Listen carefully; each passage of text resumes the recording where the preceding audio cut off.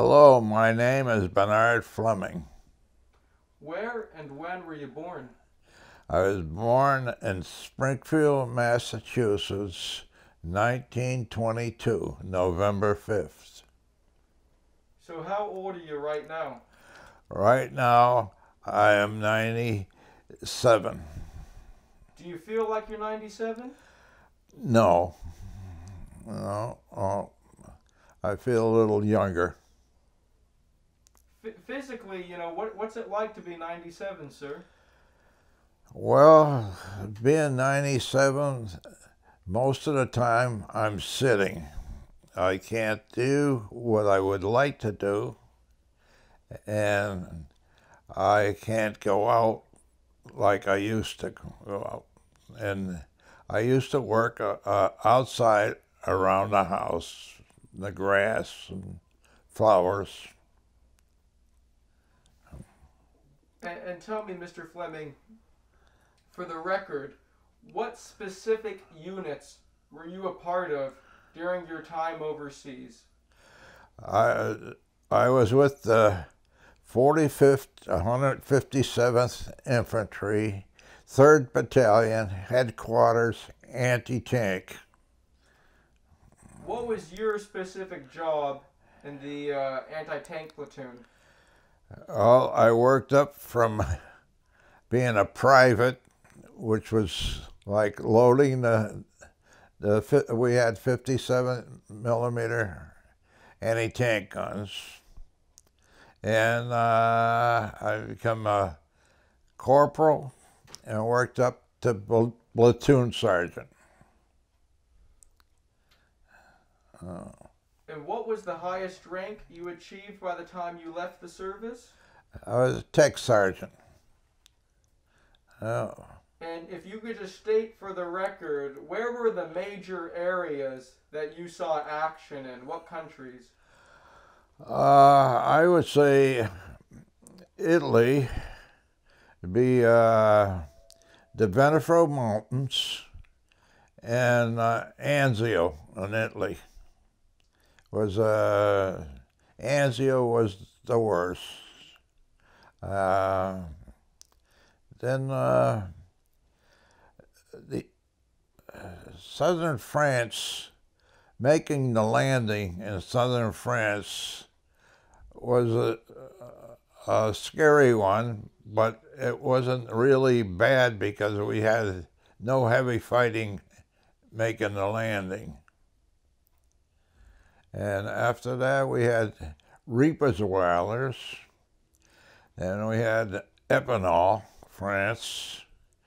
And we went from Epinal to Aschaffenburg, and then from there to Nuremberg, and then uh, from Nuremberg we went uh, to Dachau, and from Dachau we went to Munich, uh, where was over. So before we go further into your war, experiences, I want to backtrack, sir. You mentioned you were born in Springfield. Right. Did you grow up there? Oh, yes. Uh, I grew up there and uh, till, uh, well, I lived in Springfield even after I got married in Springfield and lived there and uh, raised our four children there. Talk talk to me about growing up there. What kind of things did you do for fun as a kid? Oh, as a kid, uh, of course, it was during the Depression. So uh, we had a, a, a, if we had a baseball team, there'd be only one one of the players would have a glove, and we pass it around. And uh, of course, where we lived there was the woods around, and we used to go down the woods, and there was a stream in the woods, and uh, we used to have a fire down there, have a, um, baked potatoes. We everyone bring an own potato and put it in a fire, and we uh, bake them like that. We climbed trees and there's one tree that had uh, crab apples on. we used to climb up and grab, get the crab apples. And of course, there was fields of blueberries and strawberries where we would go out and pick them. And uh, we, uh, we used to pick quite a few of them and bring them home. And my mother and grandmother used to make uh, jelly. And we, and, in our backyard, we had a, a home garden where every day we worked, uh, worked out in the home garden and we grew uh, tomatoes, carrots, and uh, corn, and straw uh, not strawberries. The strawberries were wild. We used to pick them wild. Elderberries we used to pick wild too. My father used to make elderberry wine, and uh, we had a a grapevine that you could sit under and we had Concord grapes, and uh, but we uh, uh, we used to play down uh, sandlot baseball. We'd have one base, baseball. It was like a nickel rocker. We used to call them, and then used to split open and be just uh, old rags or something inside of them, and we used to tape them up with black tape and we had one baseball bat for each team. and uh, we made our own sports.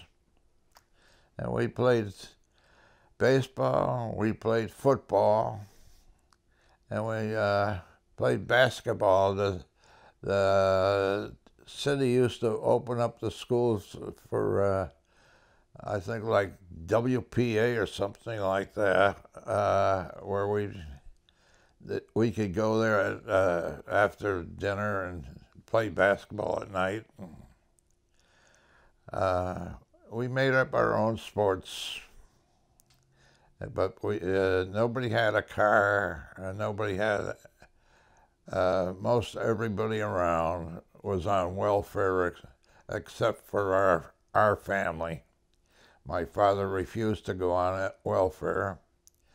Uh, he was a engineer on a railroad, but he was laid off, and he worked in a a box company, a cardboard box company that made that up in Indian Orchard, shoveling coal in the boilers up there during the Depression. But everybody lived about the same. We had to make our own teams up and played walk everywhere or run everywhere. But nobody had anything other than that. And there was only one person in the whole neighborhood that had a car. Uh, that's that's of life. When you and your buddies would get together when you were teenagers, what what kind of mischief uh, would you and your buddies get into?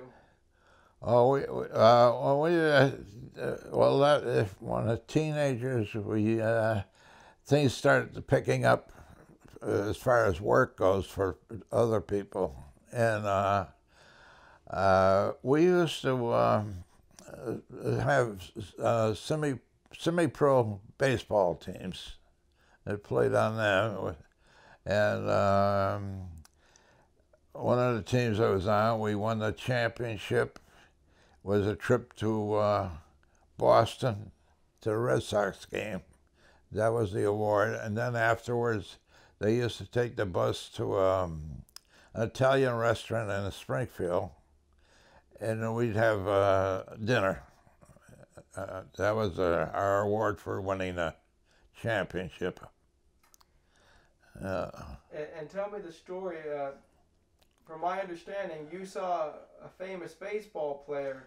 Uh, seeing uh, when we went to Boston, they, at that time it was at the end of Babe Ruth's career. The Yankees let him go, I guess, and he went and played with the Boston Braves. There used to be a baseball team in Boston, Boston Braves, and he played on that team. And we went there, and we seen him play there in his last last years that he played baseball. what was that like to see Babe Ruth in person playing? Well, we were still kids, uh, but uh, it, it was great because uh, not many people have seen him. but uh, of course, he was still a big name ball player. But it, was at his end of his career. And um, we, I also seen uh, Rabbit Maranville. Uh, he was a brought up in the same area where my father was brought up. So my father knew who he was, and, he, and my father used to play with him when they were kids. But uh, that was, that's about the story of it. And, and uh, tell me, how did you hear about the attack on Pearl Harbor? Uh, oh, this friend of mine, Bud Garvey, and I, uh, we, we were both working from uh, after uh, graduated school. I was uh, I was um, 18 or 19, uh, and um, we went to the movie at Loew's Polarized Theater in Springfield. And we come out, and of course, being big shots that we were, because we both had jobs, we got a taxi to take us home. And uh, when we were in the taxi, the taxi driver told us that, about Pearl Harbor. That's how we knew the taxi from a taxi driver. What was that like, Mr. Fleming, as a young man, to hear that your country had been attacked? It, it was uh, very surprising, really. And uh, of course, everybody was surprised. But uh, the following days, all the fellows that hang out with and everything, we were all, even I went down to register for the draft. Uh, there was no draft then uh, but to register to win the service, and there were big lines in Springfield to, to people signing up for the uh, the service. And I I went home. I told my mother what I did, and she says, I was uh, 18 and she says, uh, You're not going. I said, Why? And, uh, and my, of course, her brother, my uncle, was killed in World War One. And she says, You are not going. And, I respected my mother very, very much. And I said, All right, I won't go because I knew in time I was going to be drafted. So I, I wouldn't do anything to get her upset. You're doing wonderful. Um, so take me through. Uh, what happens then? You know, when do you get drafted? And... Oh, I I graduated from school, and I wanted to be an electrician, but uh, nobody would hire a, a, a, anyone at my age because of the fact that they knew that in, in a, a month or so you'd be drafted, and then and they'd be uh, trying to look for somebody else.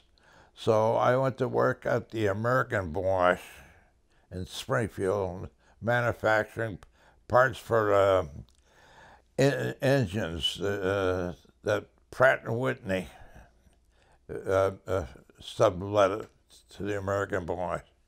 And I worked there and I got my notice uh, maybe in six months or so to report to for a physical in Springfield. And, and so after you're drafted, take me through the process of. Oh, uh, after uh, the draft, I got uh, you get a postal card. I used to have it. I don't. I don't think I have it now. Uh, I used to have a card that says that you were rated A1, which means that you go into the service. And then I was notified I was going into the service.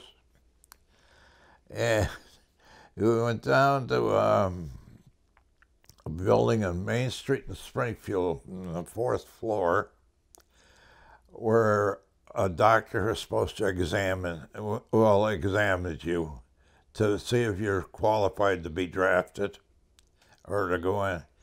And it, which to me, to this, even to this day, was a big joke because uh, there was about 10 of us in a room sitting in chairs in a row.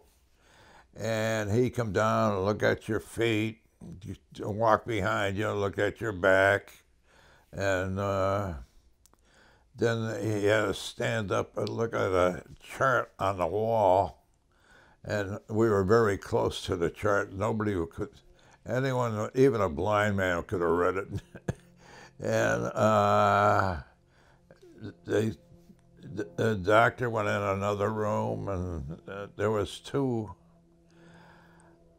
uh, National Guardsmen that were there that was supposed to oversee us, and uh, it came out and says, "Okay, everybody can go." That was our physical for the service, and we went and we got a card in the mail, like a postal card, that says you qualified as A1, meaning you could be drafted.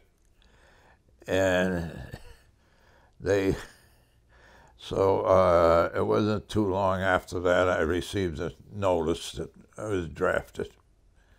Uh, and so, uh, take me through your induction and where they go, where you go for training. Oh, uh, I got I received a notice report to um, it's a small, small vacant store uh, building, and we went in there, and there was maybe twelve of us from all over western part of the state, uh, New Hampshire uh, and the, the, New England states, and um, we sat on chairs there, and these two National Guard sergeants. They were older, so they, th- th- that's what they were doing, just recruits. And we sat in chairs, and then these two civilian men came in, and they were on the draft board. Gave they gave a little talk. And then this officer came in, army officer came in. We had to stand up, raise our right hand for oath of office. And then we were marched. Uh, this this was on the other uh, on the side of the post main post office in Springfield, and on the other side was the railroad station.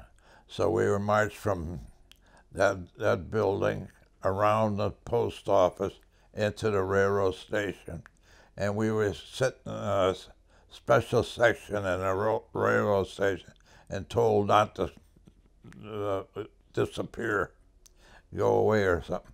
And uh, so while we were there, my grandfather was the train caller there. So I seen him and I went over and I, I talked to my grandfather for a while. And then uh, we got the call that the, our troop train was came in and we were marched up and brought into a, uh, one of the cars. Some of the cars were filled because they started in Boston, and they stopped in Worcester, and they stopped in Springfield and picking up.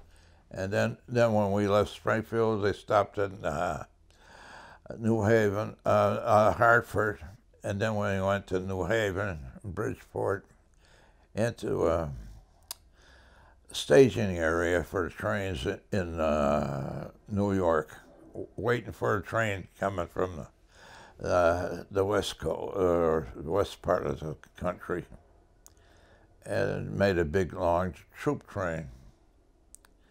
And uh, then we uh, we left there and traveled all night long. They they gave us uh, a bag with a sandwich and, a cup of coffee on a train. That was our, uh, that was our meal. And, uh, and uh, we in the, early in the morning we started hitting the southern states, and we got to uh, South Carolina right into the camp, Camp Croft, South Carolina. We unloaded there, and we lined up alongside outside the train. And I don't know if it was an officer or listed uh, sergeant that stood up on a platform calling your name, and you reported to a certain section. And after everybody was lined up there, we were marched to our barracks, or we uh, lined up outside the barracks, and our names were called, and we go in the barrack, and we're given a stand up next to a bed there. That's how that started my military career, really. Your memory is amazing. You have, you have an excellent memory. Um, take me through a typical day of basic training at Camp Croft. Basic training. Uh, well, the first thing they did, we lined up and we were marched to a barber shop. Even the fellows with mustaches or beards, or uh, they all got their GI haircut, and the mustaches were off and everything. And then we were taken to this um, quartermaster building where um, we received our uniforms. We're lining up, and they check you over and you know, the sizes and everything and the shoes and everything. And we go back and we were told to put on our uh, army fatigues. And uh, we could, uh, oh, and then the, uh, the, the sergeant and his assistant, a corporal, come out. We had a sergeant a Dam- Dembski, a very, very good man, a good sergeant. Uh, he come out and he says, "I'm going to." We had to stand around this one cot, and they made a bed and showed us how to make a bed, and we all had to make beds like that. And uh, you could never once uh, you start uh, get up in the morning, you made your bed. You could not sit on your bed at any time. You had to sit on it. We had a, a trunk at the end of the bed where everything else was in, and we could sit on the trunk, but you couldn't sit on your bed. And your bed had to be made just right, or the corporal would come by and he'd rip it apart. You have to start over again and make your bed up again. And uh, then we were issued rifles, and, and each rifle had a serial number, and you had to remember your serial number. And uh, it, it's in a rifle rack outside, uh, out in the bed. And uh, everything was we get called out to go to breakfast. Then we go to uh, do calisthenics. And then we go back in and wash up a little. And then we start training, taking us down an obstacle course. And uh, every day we had to do exercise, and then they started. We started going to the rifle range, and one day you, you'll go to where we throw grenades, and then we had an obstacle Of course. We had to go under. We had to I don't, I don't know how high the barbed wire was from the ground, but we had to crawl underneath with our, our, our rifles. Uh, uh, so many, I don't know how, how far we had to crawl, but we had to crawl on it. If you got up, you, the barbed wire would grab you on your jacket or something. And then we'd have Cali- uh, marching. And then you go to the, the firing range, uh, which I enjoyed very much, I liked shooting. And uh, then one day we went to another range where we had machine guns. And we were firing machine at, at these targets away out. out. and um, uh, oh, then we had bayonet practice. but uh, uh, did a lot of uh, walking, a lot of walking. And the final day of uh, training, or the, or the day before, uh, we had an all night long walk. We started at, say, at six o'clock, and uh, about seven o'clock in the morning, we, we, we would be headed back towards the barracks. In, in the last maybe no, a couple hundred yards or something like that, there was a band playing uh, at the end of the walk. Then we went back to the barracks and we, we uh, cleaned up, went for breakfast, and then we were told that uh, we're, we're going to get, uh, I don't know, a seven day pass or something like that to go home. Our training was over with. And uh,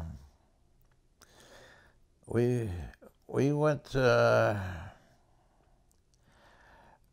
I had enough money just to get the ticket on a train to get home uh, because we were only getting $20 a, a, a month and, and uh, this fellow, George Welgus, I never forget him. He, he lived in uh, Bridgeport, Connecticut. Uh, he didn't have any money. He went to the Red Cross and asked for some money, and they gave him some money to get home on. And the funny part there was, uh, I'll never forget we he was on. Uh, we used to sleep together on Anzio for a while. We were in in the same squad. Uh, he, he, he said he said to me one day. He says, "Hey Fleming," and I said, "What's the matter?" And he says, "Read this." He got a bill from the Red Cross for the money that he, they uh, gave him at the training to get home. He says, What'll I do with it? I says, Send him a letter back or a note back and say, I have the money for you. I don't want to mail it to you.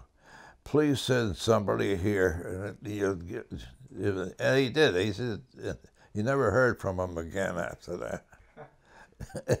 but uh, that's some nerve of them to send yeah. it all the way to Anzio. Yeah, uh, they're asking for the money, but the money is donated to them.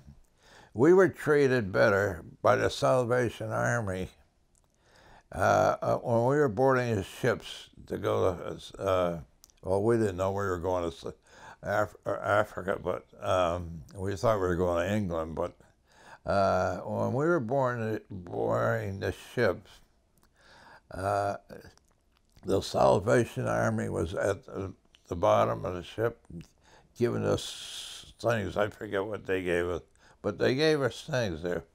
The Red Cross never gave us anything. They they wanted things, but they never gave it to the to the. As far as I know, they never did. Even today, all yeah. they keep talking about is blood and blood and blood. They, yeah. All they want. Yeah, and. Uh, so, uh, but uh, I remember he got a bill from them, and uh, And the funny part is, my son is uh, what is he? Uh, he's works for the Red Cross. Uh, uh he goes to these disasters and things like that. And uh, I said, I never donated to them, and I never will, since the, the, what they left me in the war. Because we were in this village in, in Italy, and we're sitting on a wall. We just took the village uh, uh, oh, maybe a few hours before, but um, we were sitting on the wall, uh, our, our, our unit, just waiting for orders, and this army truck came in, and they had uh, drove into the center of the compound, and it's kept two GIs in the truck. They come out and they lift up the flap of the back of the truck and lower the tailgate and put like a ladder going up into the truck. And so one of the fellows went over and said, what, they, what are you doing? And he says, the Red Cross is going to give uh, donuts and um, oh, oh uh, stew to the people. He says, so the, the two of them, uh, he says, we have to wait for the Red Cross to show up. So the two of them were going around and they telling the people to line up that lived there. And the people formed a line and they waited a half hour before this Jeep pulled up. And there was two Red Cross um, ladies in the Jeep and a, a soldier driving the Jeep, chauffeuring her. And they went on, got up the tailgate of the truck. Oh, another Jeep came after that, and the guy had a camera. And uh, they got up the, the, tailgate. They had these big ladles of things, and these people had pots, and they give them a ladle of soup in it. And they did only two people like that. And then they got down, got in the Jeep, and took off. And the two fellows that drove, drove there gave the, started giving the food out to the people. So that, that's uh, that's why I had no, no I have no love for the Red Cross, although I am a gallon blood donor. I, I donate blood, but I, I would I never give him any money or, or anything like that, uh, even though my son works for him. And, uh, so I just want to backtrack, sir. Uh, after your training completed, you know, take me through how did you actually get overseas? Where, oh. where did you? What was the port of embarkation? Uh, uh, after training, uh, like I said, we had to leave at home. We come back to to, to uh, uh, Spartanburg, uh, where the camp, Camp Croft, and we were told to pack our things up. Know, and uh, we only spent one day back at Camp Croft. And the next morning, we had our duffel bags and we were brought to uh, uh, the railroad station in the camp, and we boarded a train, and we went to um, camp uh, Fort Rucker, Alabama, and uh, the, of course it was afterwards they found out why, why we went there because we went there in, into a barracks and they used to take us out to a peanut uh, farm, or you know, they grew peanuts, and uh, we we were we were um, out on the peanut farm, and uh, and all we do was sit out amongst the the plants because the peanuts were just starting to grow. And and uh, it was just to get us out of camp. And well, we went back to camp. We were only there maybe a week, and we packed our clothes, uh, clothes up again, our, our duffel bags, and we were told not to put any personal belongings in the duffel bags, only your uniforms. And uh, so, of course, personal uh, things weren't very much, anyways. anything you put in your pockets. Uh, so, uh, because we all had army clothes and everything. And um, we, we boarded a train at Camp, Camp Rucker, and we headed to Newport News, Virginia, right to the dock. We got to the dock, we uh, unloaded with our duffel bags uh, out of the, the train and lined up, and we marched to the gangplank. And we walked up the gangplank. We were told to leave our duffel bags at the top when we get there, and there was uh, must have been deckhands on the ship. They take them and they were throwing them down into a hole. And we, we were marched and told to get uh, into another hole that, in the ship, and there was uh, cock, cocks, uh, uh, let's see, one, two, I think there was three, three uh, beds, uh, you know, sleeping one one on it, and um, and it, was only just enough aisle where if, if two people were going by each other, they'd have to squeeze to get by. Uh, the whole place was filled up with the, fellows uh, being transported overseas, and uh, we uh, we got two meals a day on board. I'll never forget.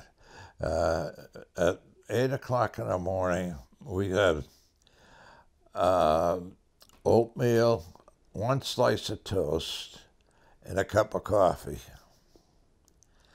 And four o'clock in the afternoon, we'd get stew, one slice of bread, and a cup of coffee.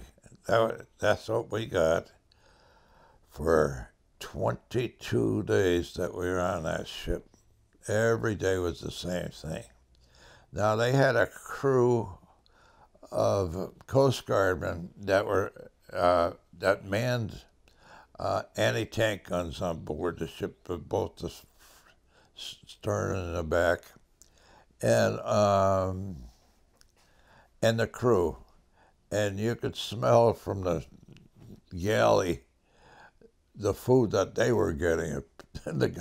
and they put a guard on the galley that so that none of the crew uh, us could go up there again.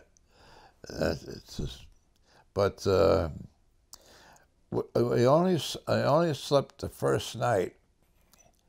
Uh, in fact, there was four of us. Only slept one night in the hold of the ship because once we left the harbor, all we heard at that time, the Germans had uh, those uh, submarine fleets out there. And, all night long, all we heard was depth charges going off. And so the next morning, uh, the four of us got together and we said, We're not going to sleep down in that hole, you know, because there was no way that we could get out of that hole if the uh, it was the ship was torpedoed. Absolutely no way. And because it was a cargo hold that they made into a sleeping quarters. And um, so we took our mattresses, which were only about two inches thick anyway, up on deck, and we slept all the way across on on the deck, the fantail. Is that the back of the deck? Uh, that's where we slept we, uh, on, a, on a deck, and we were fortunate. we didn't have one rainy day. Uh, but uh, all night long you hear the depth charges going off. And uh, it took us, and when we got cer- certain miles from England, the convoy split up. It was a huge, all, all, all you could see was ships all the way around. Uh, the convoy split up. Some went to England, and we went to the Mediterranean. And uh, we, we, landed in uh, Arzew, uh, I think it was, uh, uh, North Africa, Arzew. Once we landed in uh, we got off the ship onto trucks, and we were brought out to a, a area where there's uh, tents. And there was, um, I believe, there was uh, six of us to a tent, and uh, we we were told nothing uh, about it, but uh, the, there was one uh, show that went on. The, the movie stars that acted acted in them, and where we uh, lined up for to eat to receive. Uh, it was Italian prisoners of war were dishing out the food, and, and uh, it didn't take long for the fellows that understood Italian and spoke Italian to keep their mouths shut because every one of the ones that was serving had a brother or a cousin or somebody in the United States. And they, they were prisoners. And they were treated better than we were in there. And uh, we had these masks similar to what we're, we're wearing here now because of dust storms. And uh, here we are with these masks covering our nose and our mouth and everything because of the dust. And um, we had open trays to eat on, so the food was getting covered with dust.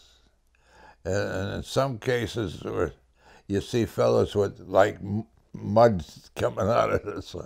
So, but uh, we used to go under underneath the trucks or anywhere to get out of the way while we're eating in. But uh, that happened. We were only there. We were assigned, uh, like I was assigned to the 45th Division, 157th Regiment, and 3rd, 3rd Battalion.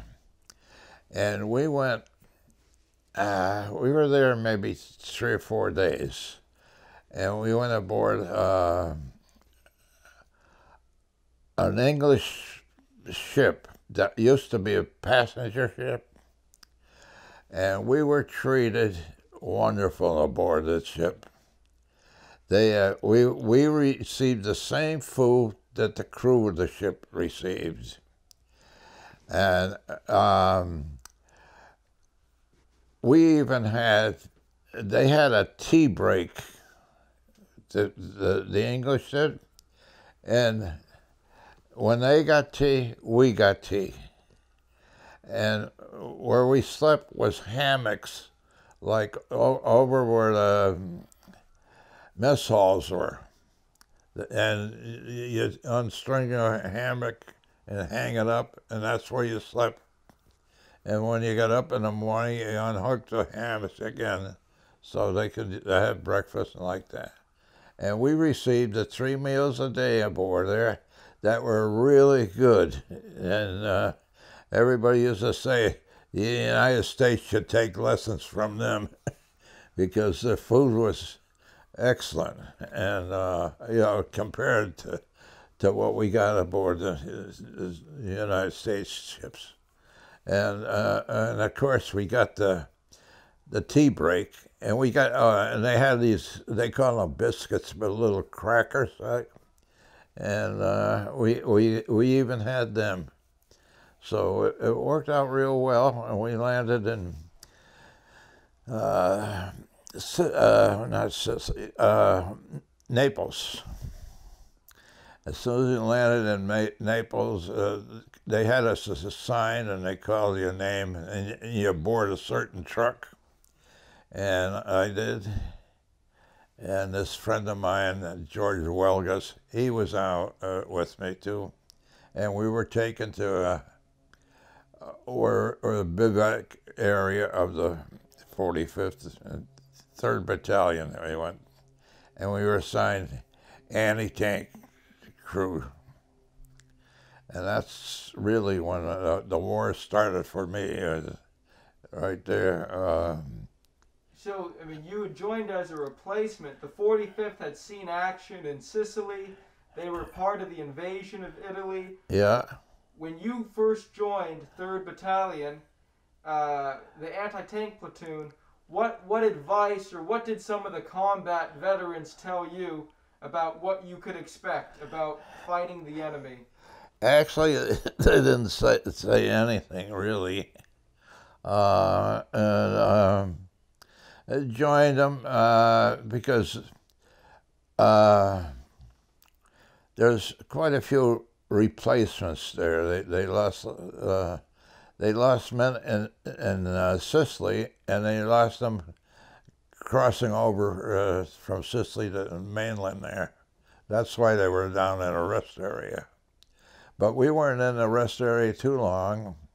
Um, uh, the thing is that uh, the uh, the no battalion oh uh, the platoon the anti-tank platoon that I, I joined the commanding officer Lieutenant LaFlave lived in Chicopee which is outside of Springfield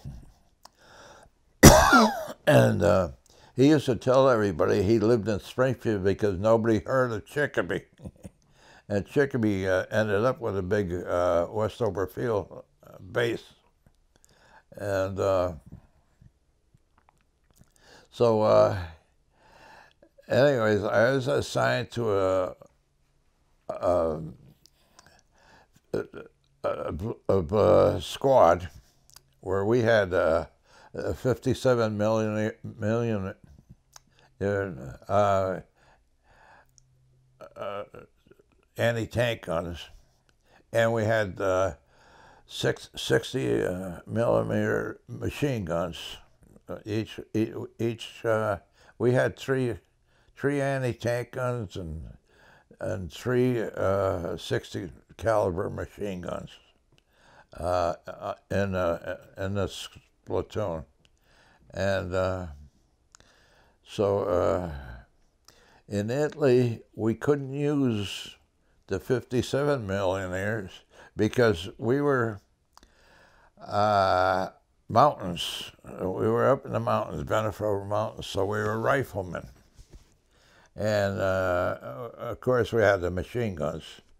And uh, we used to climb the mountains. You'd be up there so many days up on the mountains. And then you'd be relieved. You go down and you wash up and clean up and uh, try and get some rest and, and get some decent food. And uh, uh, we did that until um, that was in Venezuela. Excuse me You want some more water? no, I'm okay. Uh, uh, and um, uh, uh, we went down uh, back one time, and we went. They took us down to Salerno, where we uh, did some training, and got some clean clothes. Oh, they had a portable shower uh, you take your clothes off at one end of the tent and you go in and take a shower and then they had it timed. I gotta have water. That's fine. Okay. Uh, we we got uh, then one day uh, they said "We're- we're going to Anzio, so we had to get uh, our, fill our cartridge belts up with clips and whatever weapon you were carrying. You had to have your extra, and then we had to have grenades. Uh, when uh, I used to, the straps on the, our packs, used to stick them on st- on the, to, to, to hold them there, because you had uh, other things to carry, and um, we marched into. Uh, the harbor in Naples and boarded the landing crafts.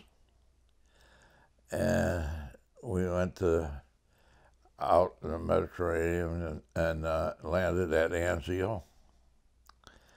And we got- the, the, we got orders to hurry up and get off the beach before the Germans starts. They were shi- uh, uh, firing on the harbor quite often. And there was only a few buildings that I remember uh, seeing, but every building I seen was damaged. And, and um, so we we land, we got off there and landed, uh, got in uh, trucks and brought us out to the area we were going in. And we got off the trucks, and the trucks got out of there real fast. And we were given a different uh, an area to dig in and stay. Stay in. It was this. Nobody was advancing. Everybody was just uh, trying to keep that area. Uh, I have to blow my nose. No worries. Uh, So, do me a favor. Before we go full into Anzio, I want to backtrack. okay. So, can you tell me about? I mean, did you get into combat before Anzio? When you talk about those mountains, Oh yeah. Oh yeah. so, so Uh. talk to me about your actual first experience in combat after you joined the outfit and you guys Oh. left the rest area. What happened? Well, we were going up this mountain uh, outside of uh, Naples.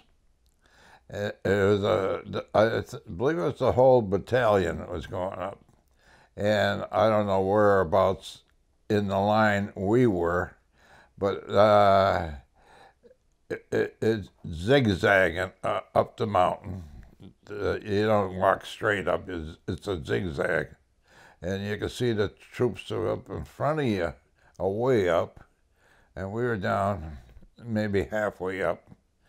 And uh, as we were going up, we have a, a break every so often, and we were leaning, uh, sitting down, uh, and it's not a path or anything. It's just the the route we were going on and um, you hear a shot, and uh, everybody looks around. Of course, they know what happened.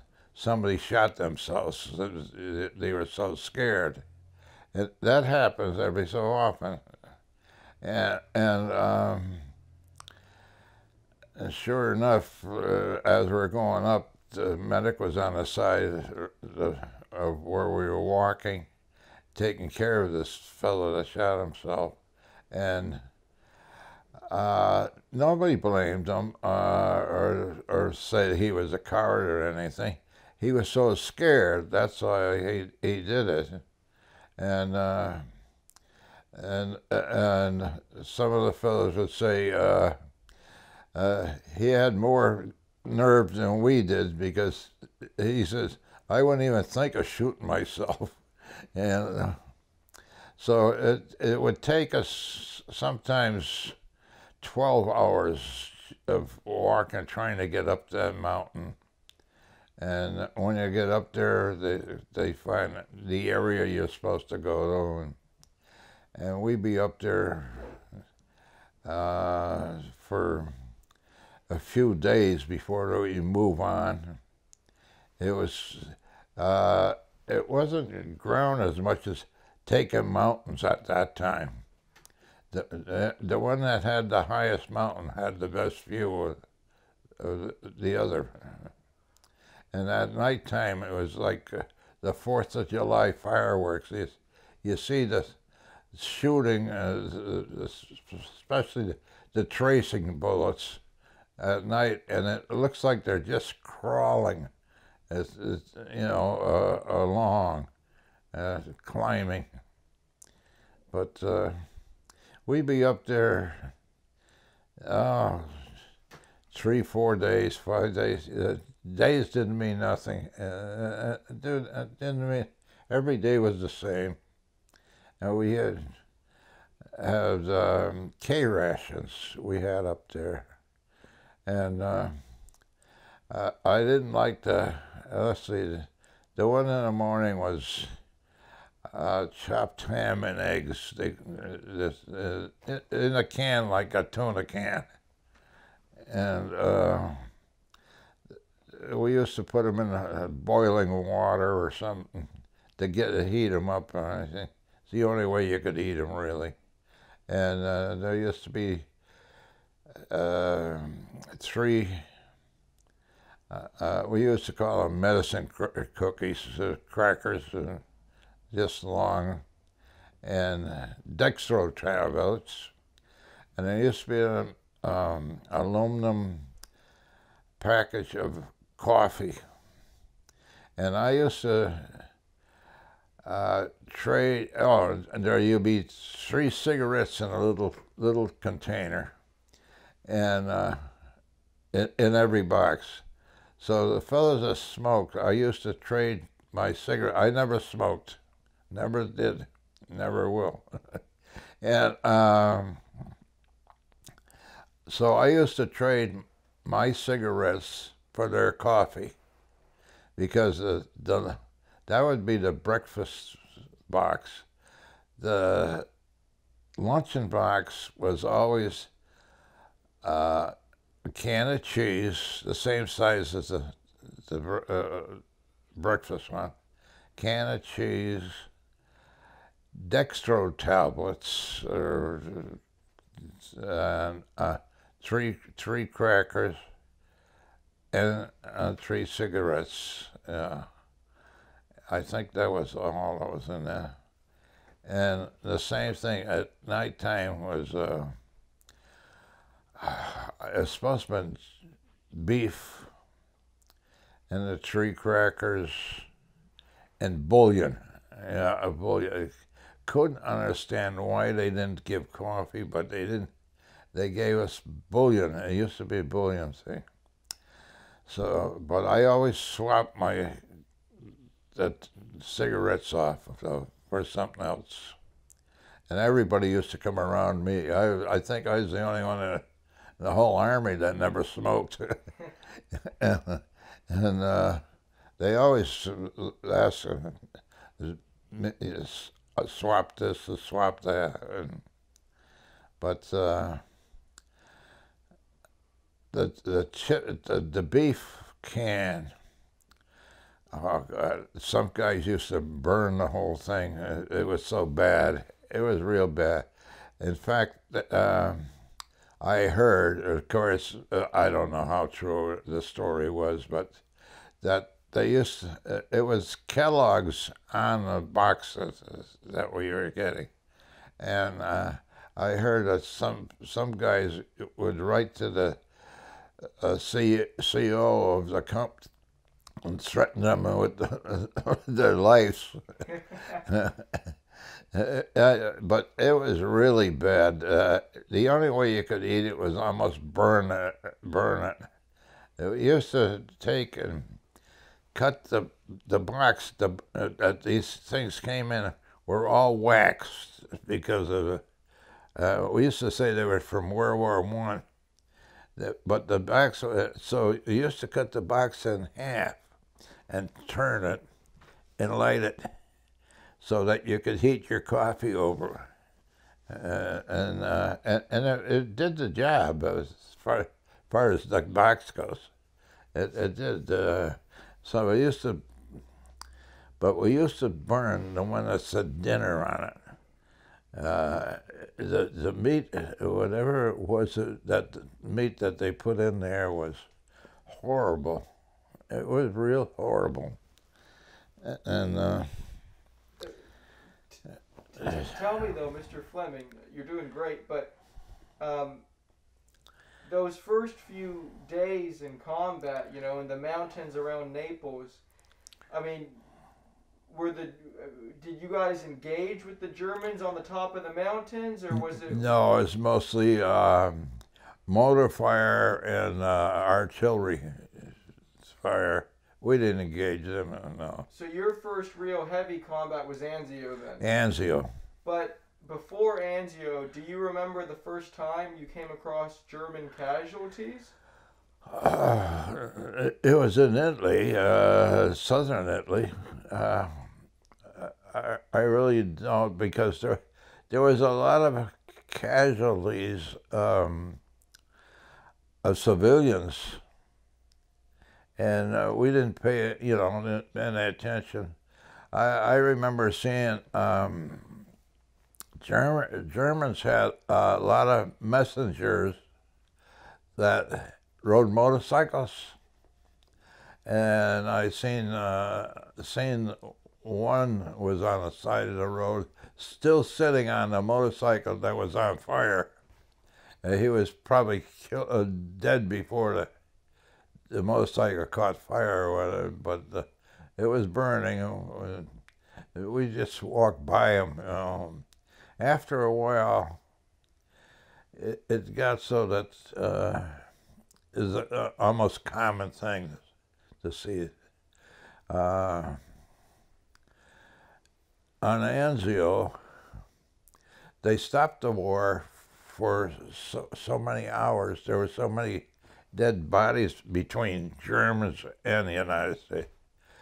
And uh, uh, unfortunately, I was one of the ones they picked to go out and pick up the American dead. Uh, some of them were rigor mortis set in already on them. And we had a, a Jeep pulling a um, trailer behind it. And, and we used to put the bodies in the trailer. But, I mean, they were all stiff. You couldn't do anything. Uh, just put them in there on top of each other. But th- they did stop the war in Anzio for a while. While. Uh, both sides were out there picking up bodies. Uh, What was that like for you to, you know, to be in a position to be so close to, you know, American dead? well, a- after a while, uh, I don't know, it, it was it's, it was hard. I, I uh, you, you you're ordered to do it, you know, and, and uh, you, you try to be gentle, really, uh, and, and you try not to look at them. Really, you you don't look at their face.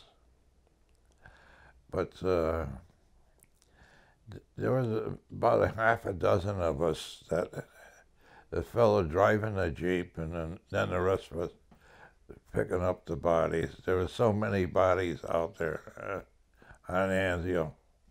I mean, did you guys actually have to go look for them, or had they? No, you, you could see them. We know the area they were in. They were, uh, no, we didn't.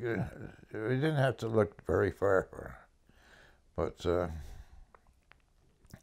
we, we were out there for so many hours that uh, all that. Could you see the Germans also doing the same thing? Oh yeah, yeah, yeah. Same thing. That must have been something to be close to the enemy without, you know, worrying about Uh, being killed. Yeah, uh, uh, that's true. Uh, it, uh, but I, I don't even know how they got together to uh, have the truce. That's what it was, the truce uh, for so many hours. Uh, but uh, there was quite a few dead though out there. So, so if you could please go back and explain uh, from Naples, how did you get to Anzio? What do you remember about the invasion of Anzio? Well, uh, we didn't know anything about Anzio really. We were we were in a rest area, and uh, we were told uh, we're going to make an end. We used to call it end run, and and uh, we were going to make an end run, and we said we didn't know what to expect because we we got on a landing craft and it went it went out straight like out in the ocean. Then it cut off, uh, make sure that it was away from the land, I guess. And and when we get close to Anzio, we got orders to everybody down, you know, down below the sides of the ship or the landing craft. And uh, then when we got near, they said, uh, lock and load. You mean put putting the cartridges into the whatever weapon you're having, you have, and be ready. And when the when the front comes down, you, you get off fast because because uh, they want to pull the uh, landing craft out of the way for others to come in. So uh, we did, uh, and we we might uh, we got to a certain uh, trucks, uh, and we didn't think much of it because it was pretty calm then and uh, riding in trucks. But uh, we only went a certain distance in the trucks, and we were told to unload. And from then on, you're walking. So it had to be an area where the, there was no uh, artillery fire. And so we walked, and we get, and they said, dig in. And so we dug, dug in. And uh, we moved around. Uh, the, the, the overpass, we, we, we had to go there twice. Uh, it, it was um, one track railroad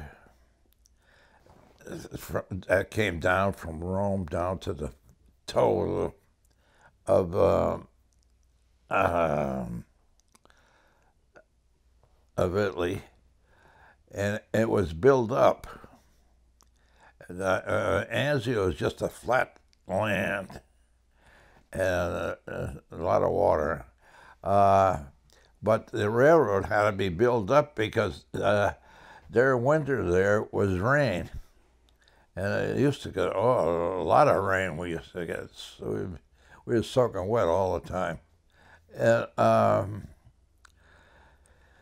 so so they, uh, they call it the overpass, and uh, and in one area was an opening where uh, you could drive through, and that's uh, that's uh,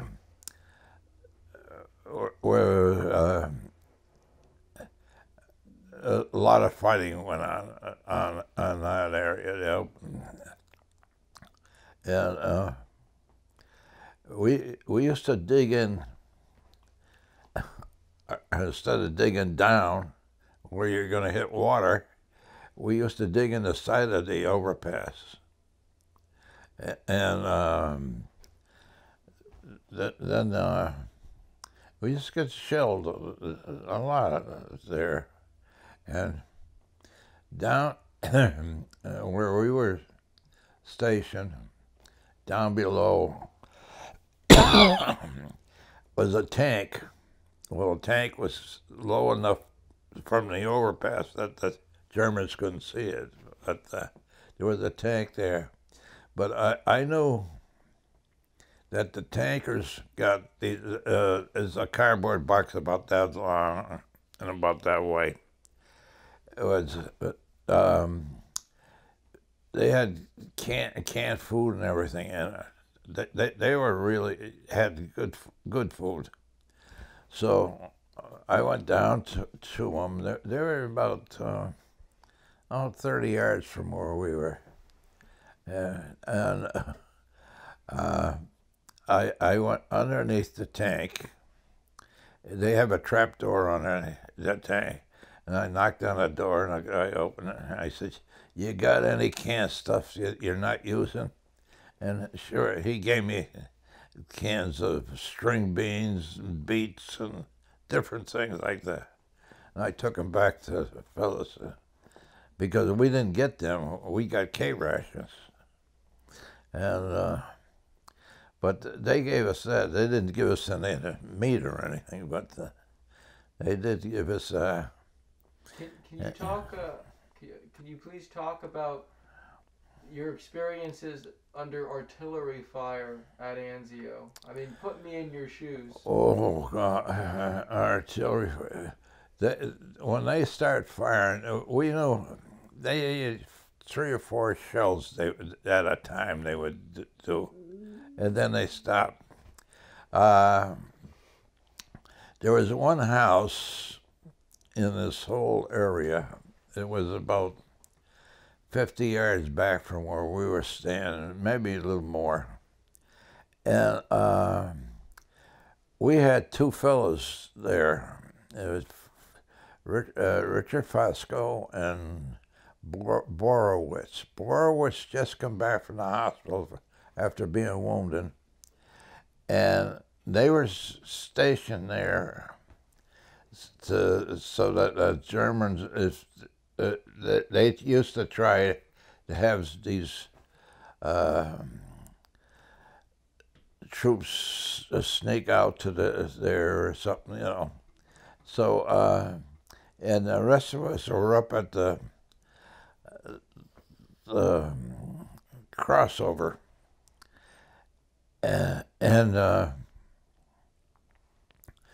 we got uh, we got heavy shelling uh, during the night there, and um, he, uh, so the lieutenant, Lieutenant Lefay, he called Art, Art, the sergeant I had, Sergeant Nienberg, uh, and said he, he wanted he hasn't heard from the two fellows that were in the back. He said they, I don't want them, he wanted them checked out, and uh, so they asked for volunteers to go with Nienberg, and I went. So I went with him, and and one other fellow went, and and we went there and we looked around for him, and. Uh, Eddie Nienberger, he, he called us and he, he says, I found him. He says, let's go back. And we, of course, we stopped and looked and said, where are they? And he says, they're both dead.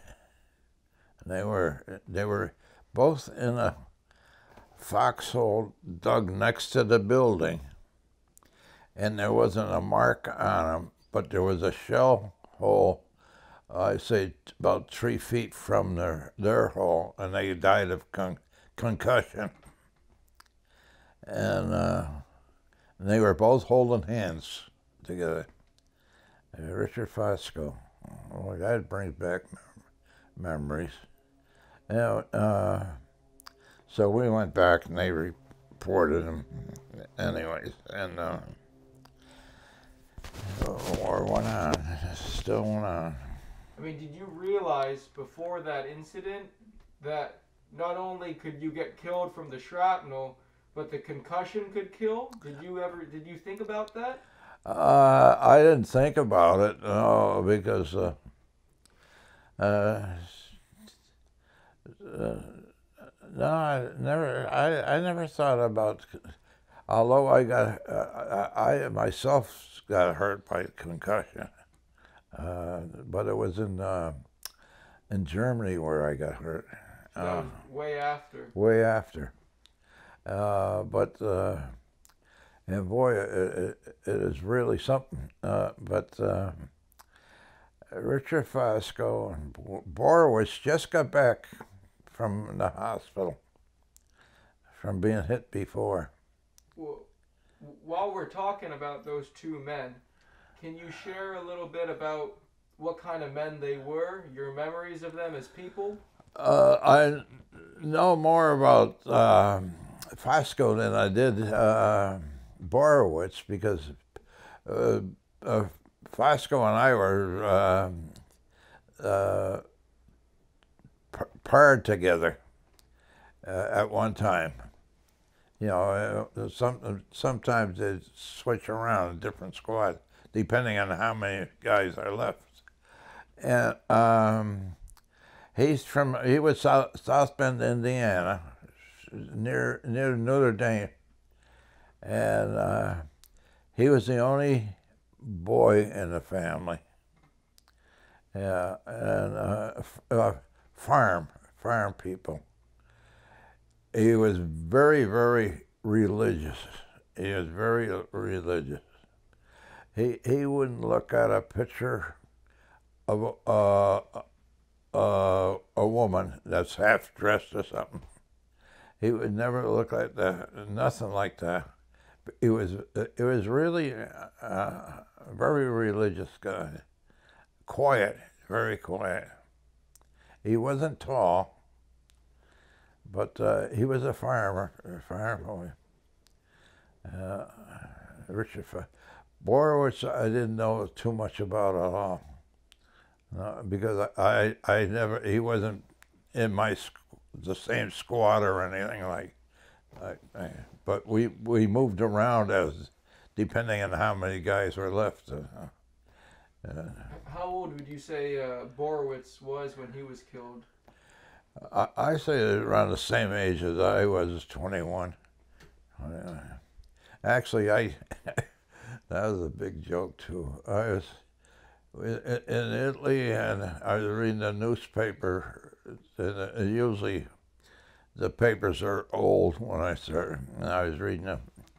Uh, some, it was somebody else's paper, and uh, I just happened to look at the date.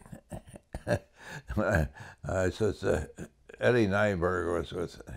Uh, I says, Eddie, I says, I had a birthday three weeks ago. I, I forgot I turned 21 three weeks before, until I read the paper. I turned 21. Yeah, that's really something. Uh, I never, thought of her birthday. I didn't even the the date. Uh, yeah. Well, you're you're doing amazing. Um, I mean, could, could you talk about uh, my understanding of Anzio is that you guys were in the flat area.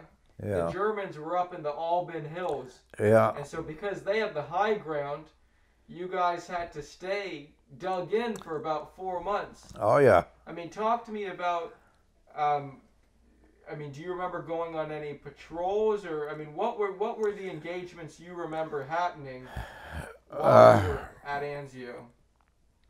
To you personally? Uh, uh, I remember uh, we were at. Um, they they kept swapping us around different. There was a what we used to call the pines. Uh, it was a group of pine trees. The only thing, uh, uh, and, and it, used to be.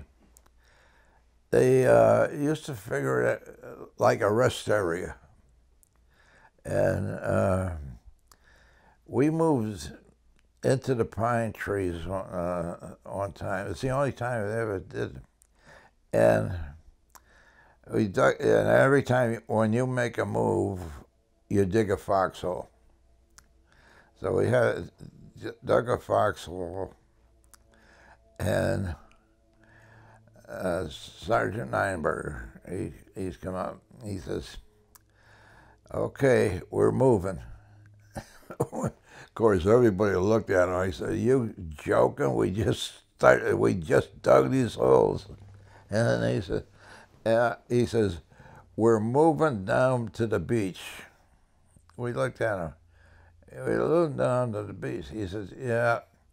He says, "Intelligence got word that the Germans are going to try to put some people ashore." from submarines on the beach down here. So so I I uh, so we packed up, went down to the beach, and there's the sand dunes, you know, like it's the any beach. And we set up our machine guns. Three, we had three machine guns along there. Uh, we didn't even d- dig in to be truthful about it, but uh, and we had to watch the water to see if anyone's coming ashore all night long. Uh, you know, different ones were on duty, and uh, that re- that reminds me of the story of Italy. But uh, you know, I go back there. No, tell me.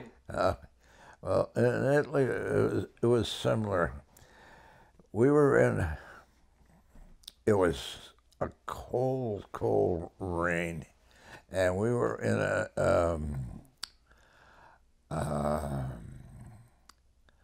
where they have grape grape. Well, they have these little um, like dugouts or something, and they have these wine case casks in them, and uh, but it was dry in there except for the floor. There, there, was like a space like this in the floor in the middle, and it was filled with water, you know, that seeped in there, suppose. But on the, on the um, sides were these uh, kegs that they had wine in. And of course, the fellows took the kegs out and put their blankets up on the, the shelf and were sleeping in there. But yeah, we we still had machine guns out there that we had manned at night, and uh,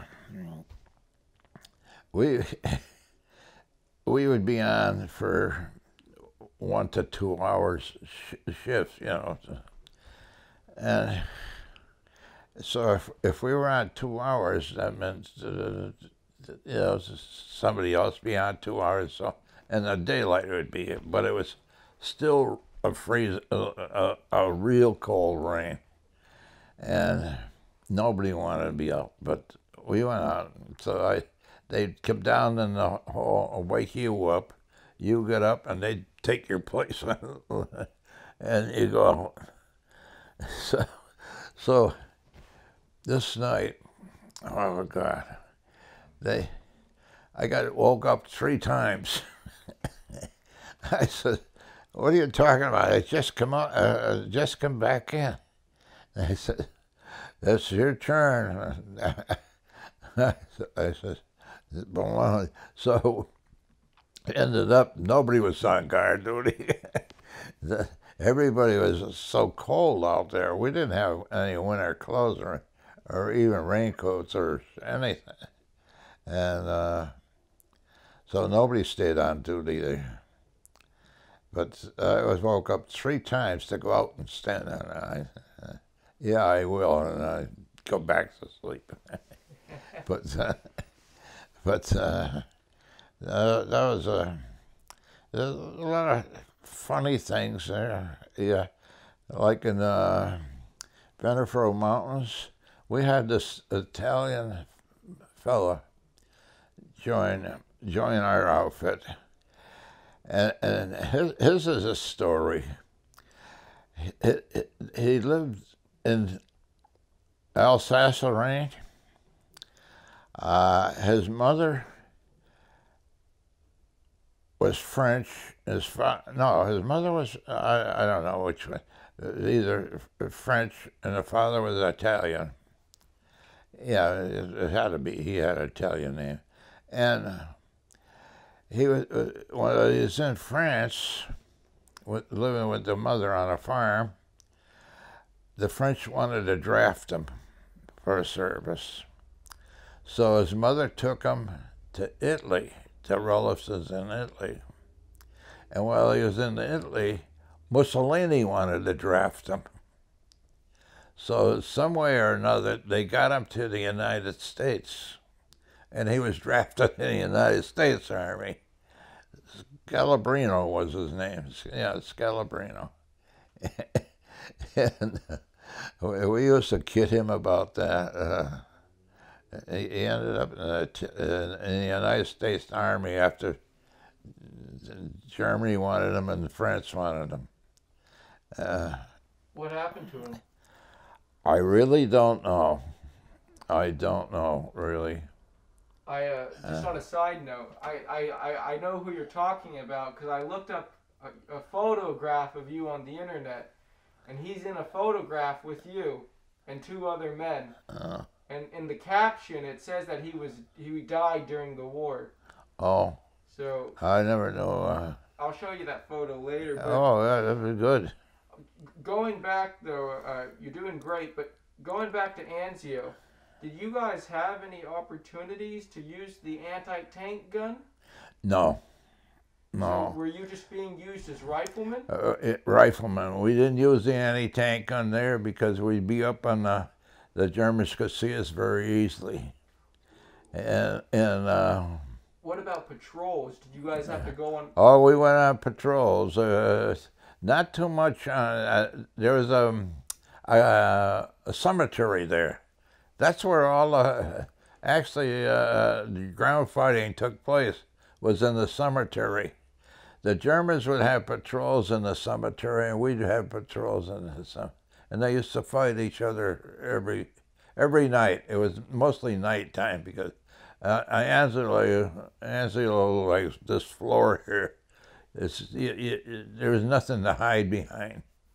And especially with them up in the mountains and they had these uh, glasses that they, they could pick out an ant, I think, because uh, anything that moved down there was was shelled. Every, everything was shelled down there. It's uh, nobody could move during the daylight down there. We used to, as soon as it got dark, we get out of our holes and we sit out inside the banks or something like that and nobody moved at night because uh, uh, Germans would send, send, patrols and we would send patrols. Uh, and uh, so it was very static. Yeah, and uh, what would you do all day though if you couldn't move in the day? no, we just stay, stayed in our holes during the day, sleep, because we'd be awake all night long because that's when the, if there was any fighting, it was going to be at night. And uh, can, can you tell me, sir, do you remember any specific incidences where you saw the enemy infantry at Anzio approaching your position? Uh, not a not approach. Oh, wait, wait, a minute. Not in Italy, that's for sure. Um, oh, oh uh, it was in France. Reipertswiller. Yeah,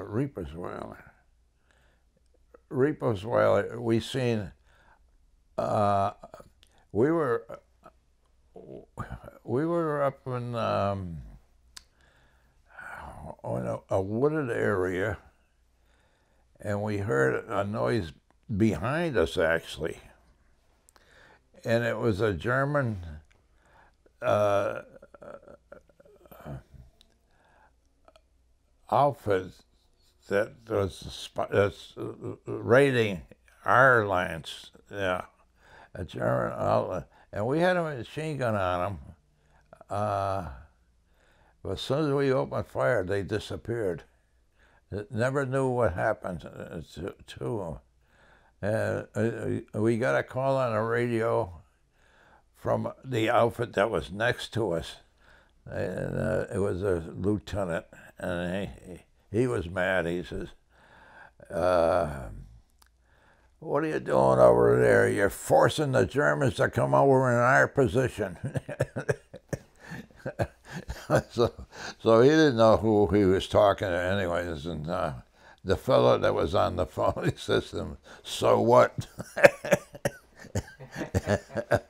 but uh, yeah, uh, they they were behind us, a, the German scouting outfit, and uh, and they took off as soon as we opened fire on them with the machine gun. But we know we, we knew that we didn't hit anyone, but uh, but they took off. As long as they took off, we we didn't care. As long as they kept away from us.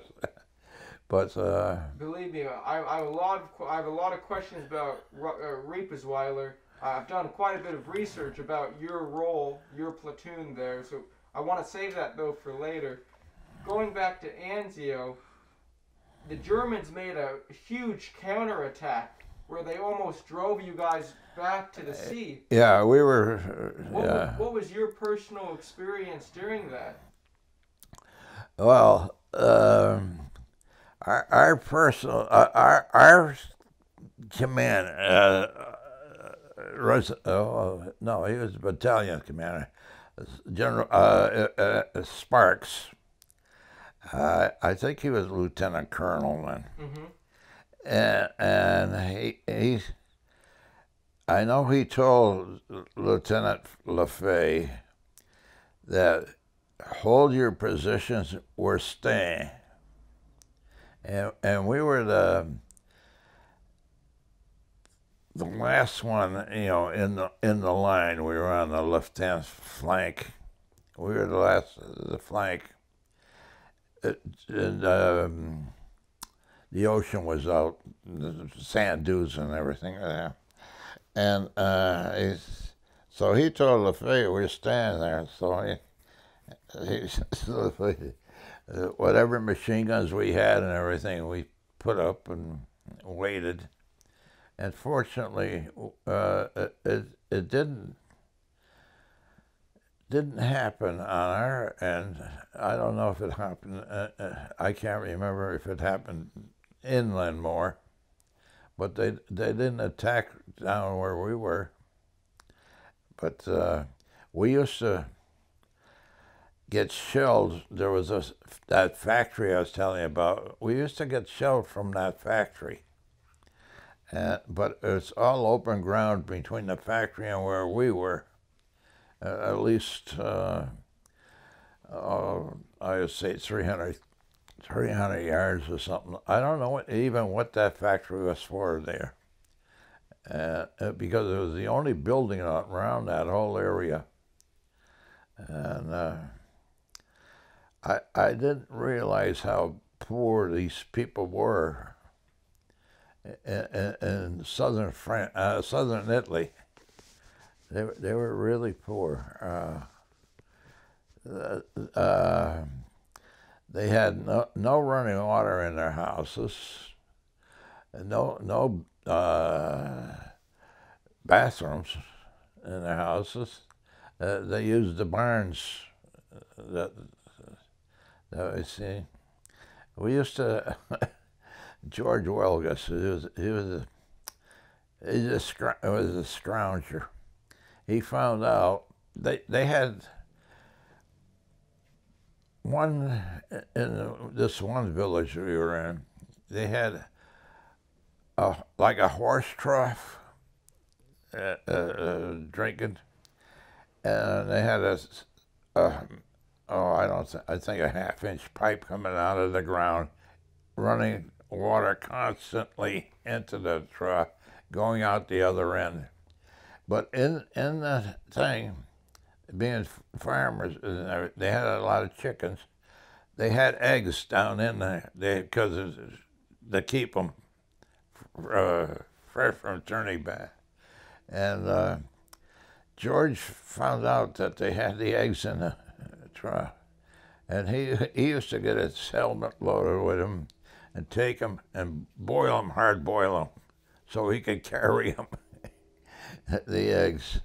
Uh, yeah, uh, George was always scourging food. And then he found out that they hung food up in the chimney to smoke it. And uh, used to find hams or something up there if he was lucky. And uh, he, he, he's, he uh, distributed amongst the guys, but uh, uh, he was he was good. George, he was he was always scrounging from. Uh, actually, I made him a sergeant. George, yes. What a you know you mentioned Felix Sparks. Yeah. He was an original of the outfit. Yeah. What did you think of him uh, just as a leader in general? Uh, it was uh, very, very good because he led. He didn't stand back. And uh, uh first time I met him, he was a captain. And at the end of the war, he would become a colonel. But he was actually he became a major ahead of our battalion. yeah and um, he, he was an officer that led, not order and stay back and let somebody else. He he do it. Actually, in um, France, when we were trapped, he hopped on a a scout car. This is a, a like a.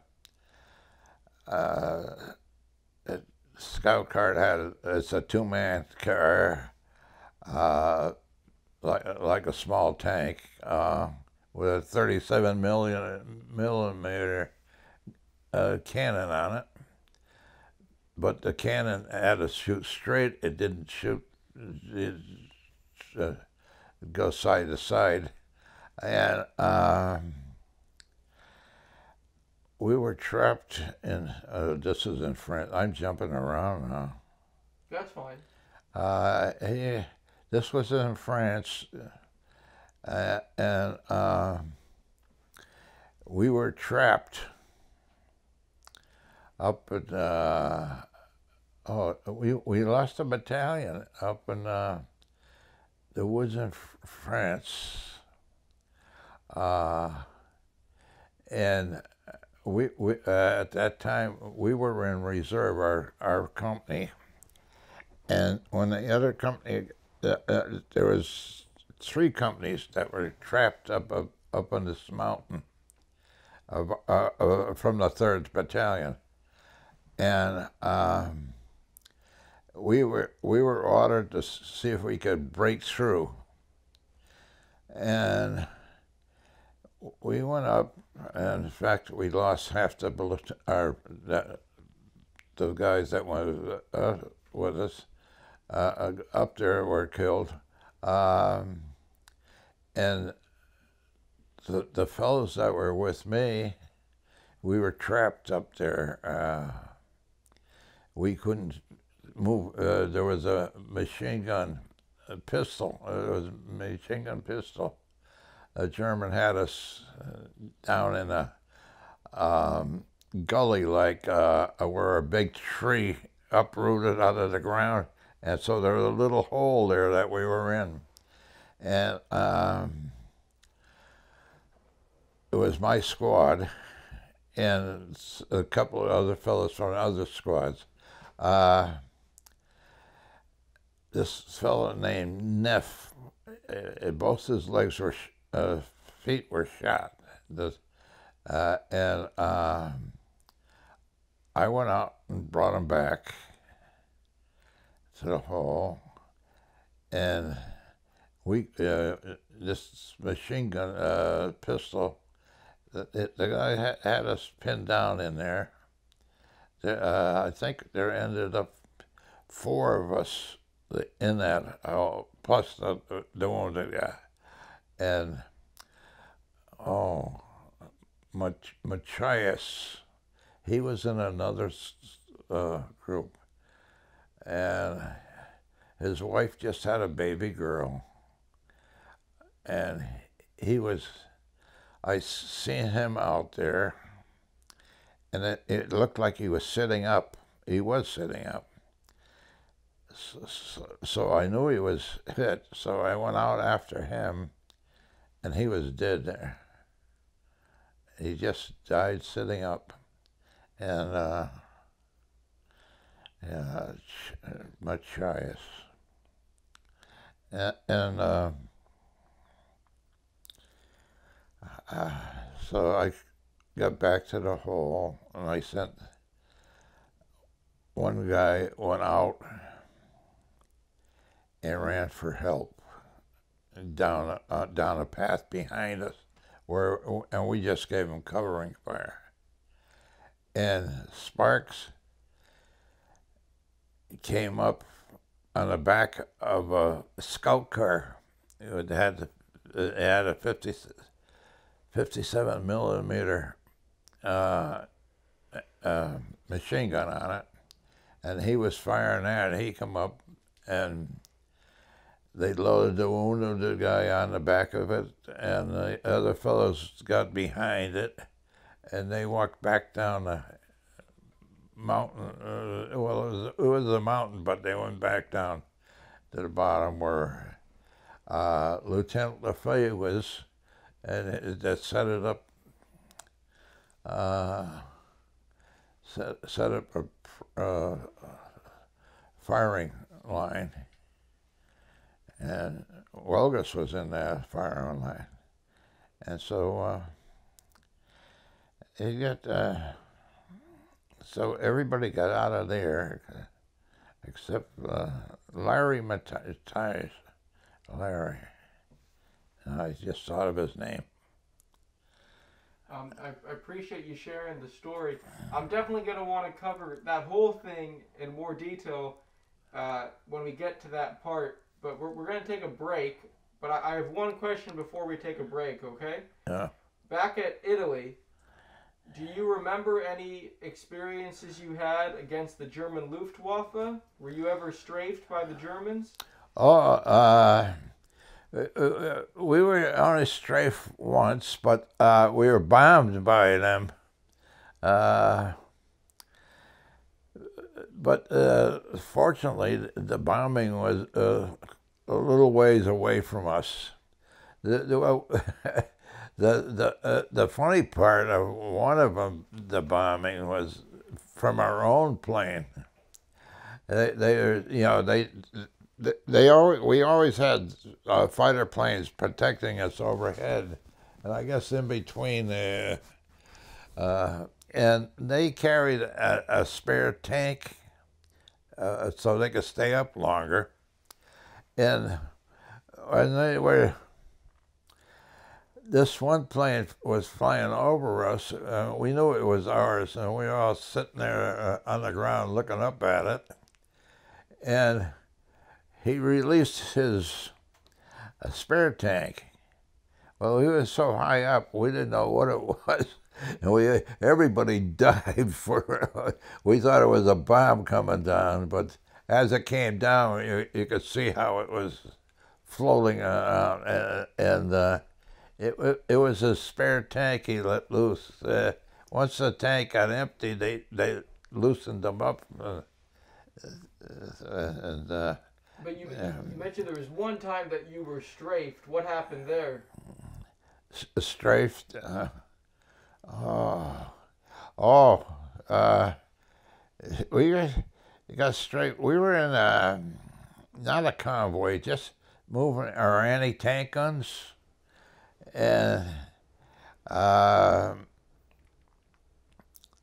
uh, we didn't see this plane because it came from behind us until it was almost uh, started shooting, and when he's shooting even the driver of the truck pulling, pulling the anti-tank he dived out. Everybody dives out and uh, headed for the ditches and things. But, uh, but uh, luckily, the, the pilot himself, uh, the, the Germany was losing their air force at the time, I think, because uh, he was by himself and we had our other planes always flew over our area constantly, our fighter planes. And uh, so he'd make that one pass at us, and then just took off towards Germany, and uh, but uh, we all dived into ditches and whatever we could. They, they left the trucks and everything out. Save yourself. so tell me, sir, after Anzio, tell me about the invasion of southern France. What happened? Um, Your memories of it. Well, the invasion of southern France was, uh, in my opinion, very uh, easy. Um, we weren't shelled only uh, now and then. Uh, it, one shell would go out. Uh, we hit the beat. Uh, the hardest part was jumping off the water and, and waving in uh, because uh, the the the landing craft that I was on stopped away out further than it should have and uh, when we jumped in, the water was up almost up to my neck. I was ready to throw everything off. And um, we hit the shoreline, and then we went straight up this hill that was in front of us.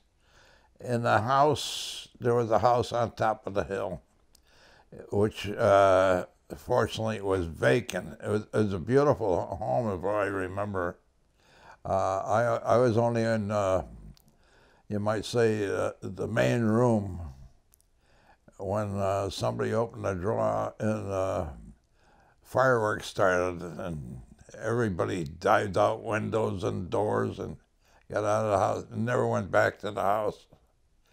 And we continued up the hill for, I don't know how far, maybe a couple more miles, where we were halted while everybody got organized.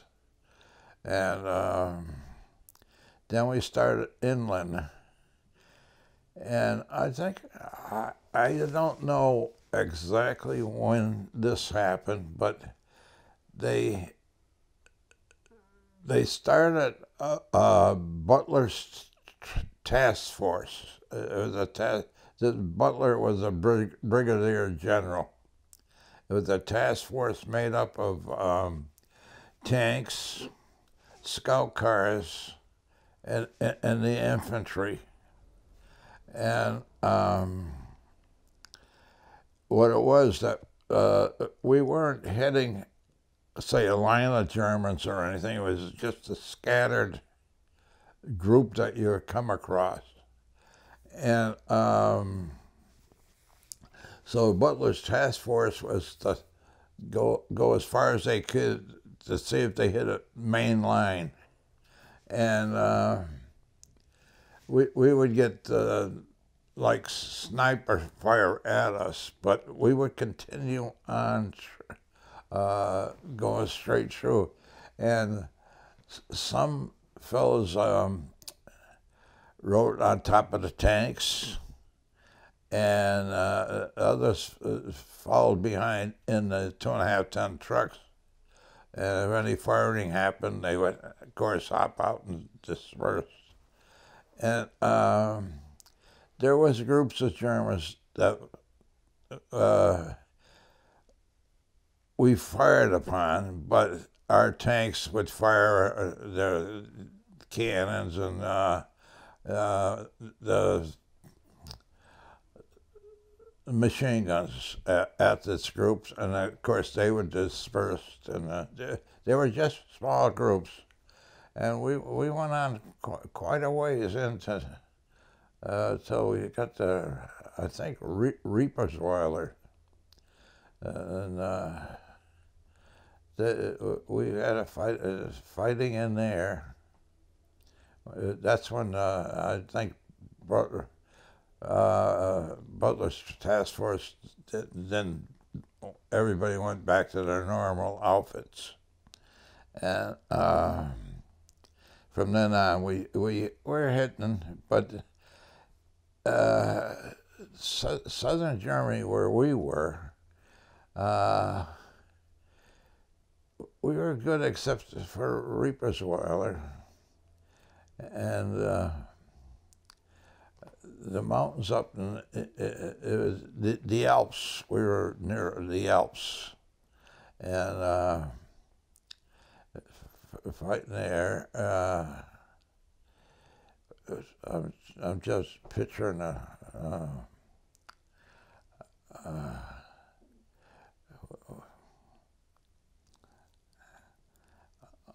uh, we, we were being shelled from a certain area. I, I, I don't remember the area, but uh, we we fought our way, and uh, uh we uh, we got to Epinal, Epinal, France. It's the last big city before we hit the German border. The German border was just beyond there, and uh,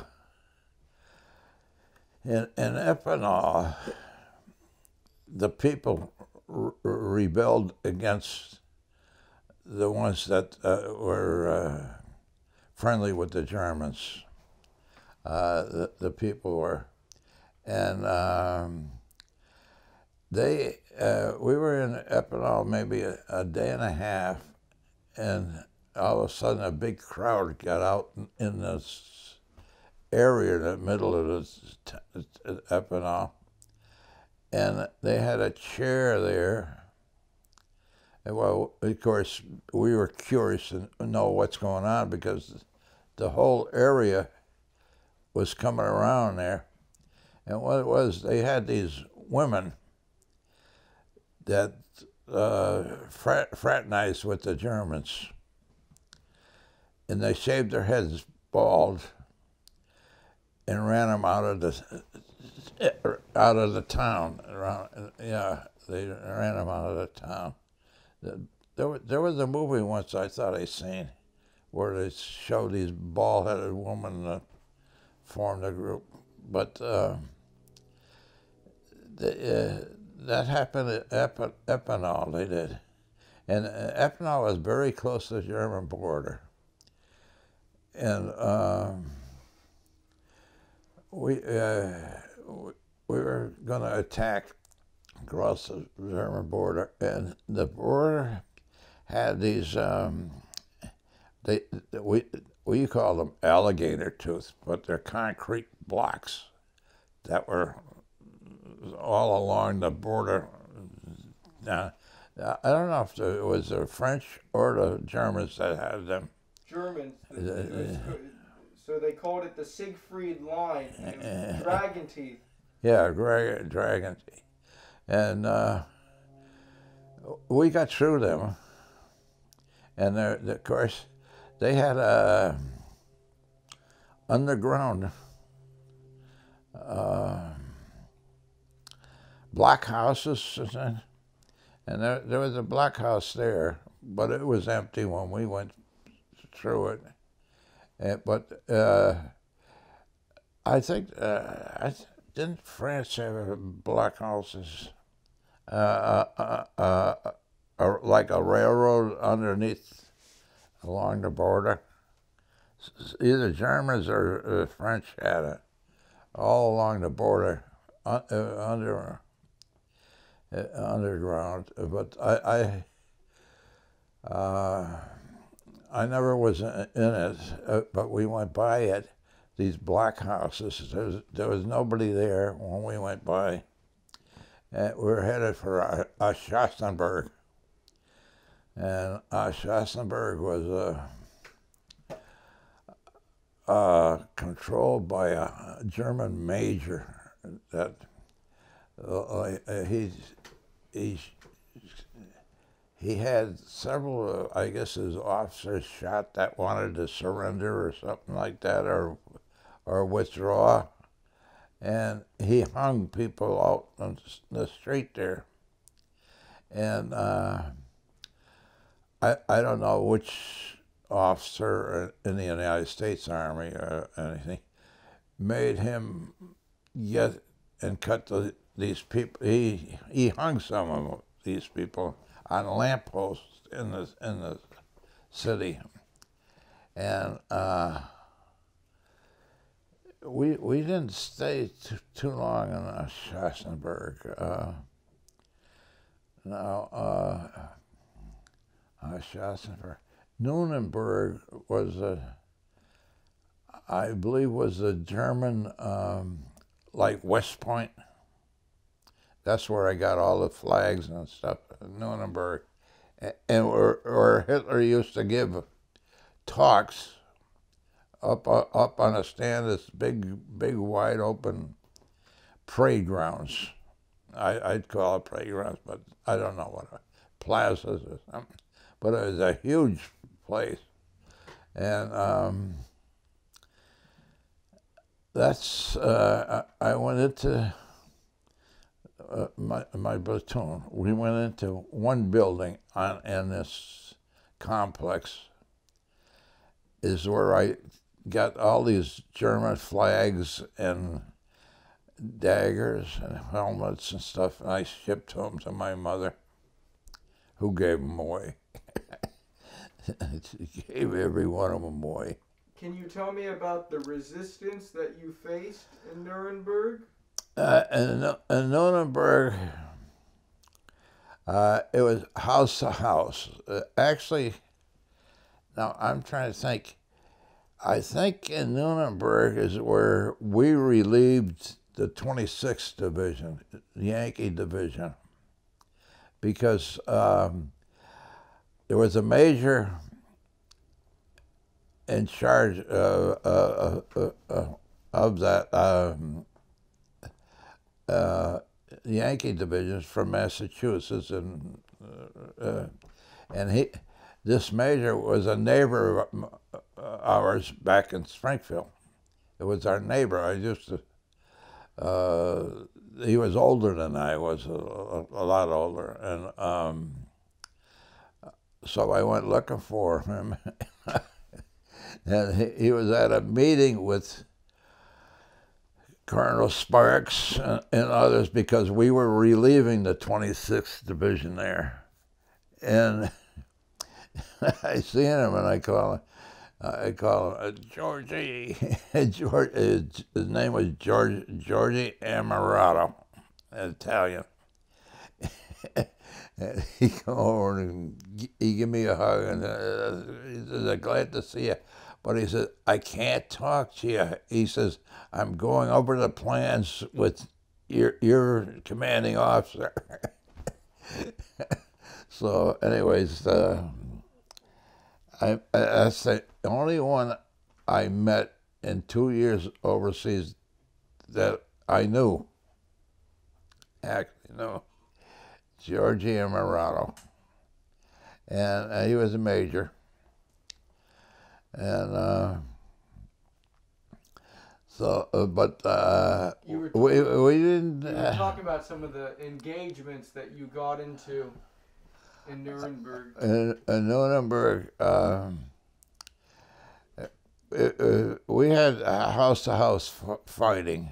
Uh, fortunately for me, I, we we didn't have to do the house to house fighting. We set up machine guns, you know, in different uh, crossroads and things like that. And, um, uh, it, wasn't bad. The people in, in a sense, were happy to see us because uh, this major, the German major that run the place, was having people killed that wanted to surrender or, or, or, or withdraw, especially the soldiers. He wanted to, he'd have them killed. Uh, and, and then he was hanging the people to scare, uh, scare the people especially the men. They were eh, there were more men hung than any of them, and uh, but uh, we we moved we kept moving out of there. We didn't stay in Nuremberg too long, because the the place. Uh, or um, brick brick homes, beautiful brick uh, apartments, uh, apartments, and, and we were we were uh, our platoon was we set up in one apartment, and I was up on the second floor check, checking out the rooms and with with the other fellows, and all of a sudden, oh, crash! An artillery shell went right through, right through. I I bet it wasn't twenty yards in front of us, right through the building, smashed smashed the building. Uh, it was a German artillery shell. It wasn't uh, ours. And uh, so we, we got out of there fast.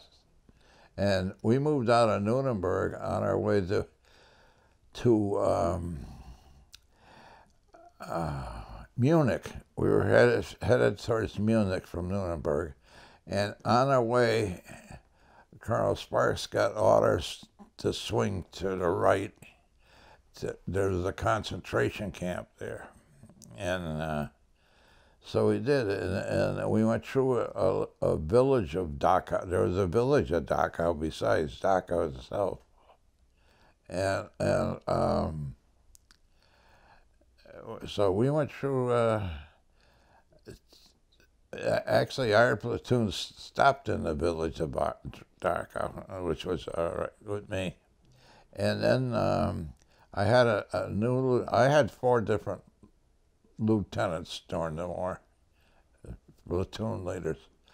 Uh, they, uh, this one was, uh, oh, what was his name? Now I forget his name. Daly, Daly. And, and uh, he says, come on, let's go to the uh, camp the, the Dachau prison camp. So we started up the railroad. There was a railroad tracks that went through the town in, into the camp, you know, because they were bringing the, uh, they weren't, well, they were prisoners, but the bringing the people in from different parts of, uh, of Germany that, uh, to the concentration camps. And we went up and we come across two boxcars. The doors were open, and all you could see was bodies in both box boxcars. I had pictures of them. I had, I had a, stack of them. Uh, and uh, my wife, Dorothy, she seen one picture. She says, I want them out of the house. I says, okay, I'll, I'll find a place to give them. So Morris Cantor was a friend of mine at the American Legion. And I went to Morris and I said, Morris, I have pictures of Dachau I said, I like to give them to a Jewish uh, museum or something. I says, could you handle that? he says, sure. I said, okay. I said, when I see you tomorrow, oh, when I see you tomorrow, I'll give you the pictures. I said, he says, okay, I appreciate it. So I gave them to him, and he gave them to a Jewish rabbi. I don't know what happened to him or anything like that, but. Uh, Were they pictures that you had taken yourself? No, I didn't take them. No, there's uh, one of the fellows in the outfit took them, and he he gave. I don't know how come he ended up giving me a. a he gave me a stack of them, of the box cars and the ovens and everything that went with the scamp. And uh, uh, so he, he gave me a, so I gave them to Morris, and Morris appreciate receiving them, but didn't, uh, you know, like them, of course. And uh, when uh, so what, what always happened when you walked into that camp? I, I didn't get into the camp. I got into as far as the gate. They um, the um, the rear. I don't know who it would be. Uh, notified Sparks allowed no one into the camp because they don't know about the diseases uh, and um, the people were they were starved, really starved, and um, but the, the government, our government, had had set up a special unit to go into this these camps, the doctors, nurses, and uh, I suppose cooks or whatever, but uh, medical people. And uh, but uh, a platoon of ours out of the, uh, um, uh, third battalion went into the camp, and with them was um, a chaplain. Uh, uh, uh, there's a, there was a picture of them marching out with the, they they captured quite a few of the guards. Some of the guards escaped out the back of the camp. Before we got there, they knew that it was going to happen, and um, then there were some of them were killed by one of our machine gunners. Uh, he was they they lined some uh, of the German prisoners up against the wall to hold them, and they had this uh, machine gunner watch them with the machine guns. Uh, you know, not to kill them, to watch them. But as soon as everyone cleared away, he opened fire and he killed them all. Uh, and uh, they were going to court martial him, but Sparks had him transferred out of the outfit before they. So they dropped it. But he, he was really upset about them. Were, were you in the camp at that time, or you heard about this happening? Oh, I was outside the camp. They wouldn't let anyone in the camp except for the uh, the platoon that went in to look for the the German uh, guards that were there, most of them were going out the back, uh, escaping. I see. So yeah. It was only a platoon from headquarters that actually went in. Uh, yeah. Did uh did after that? I mean, did you hear the machine gun fire? Oh yeah, yeah. Oh yeah, you could hear that. Yeah. After that machine gun fire erupted, what did you and the other guys think had happened? Well, uh, uh, we, we thought somebody went crazy that, that you know, uh, uh, when they seen they seen the prisoners the way they were uh, there, and uh, it's there was a, a, a little story on the side. I, I and I I know it's the story is true. Um, this major general, I I forget what other division. It wasn't from the 45th. It was another division, the 42nd. He he came up to the gate. Well, Sparks' orders were no one is to go in there, no matter what rank they had.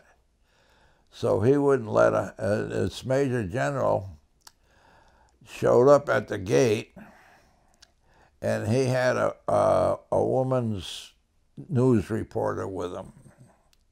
And he was giving her going to give her an exclusive to the prison camp, and Sparks wouldn't let him in.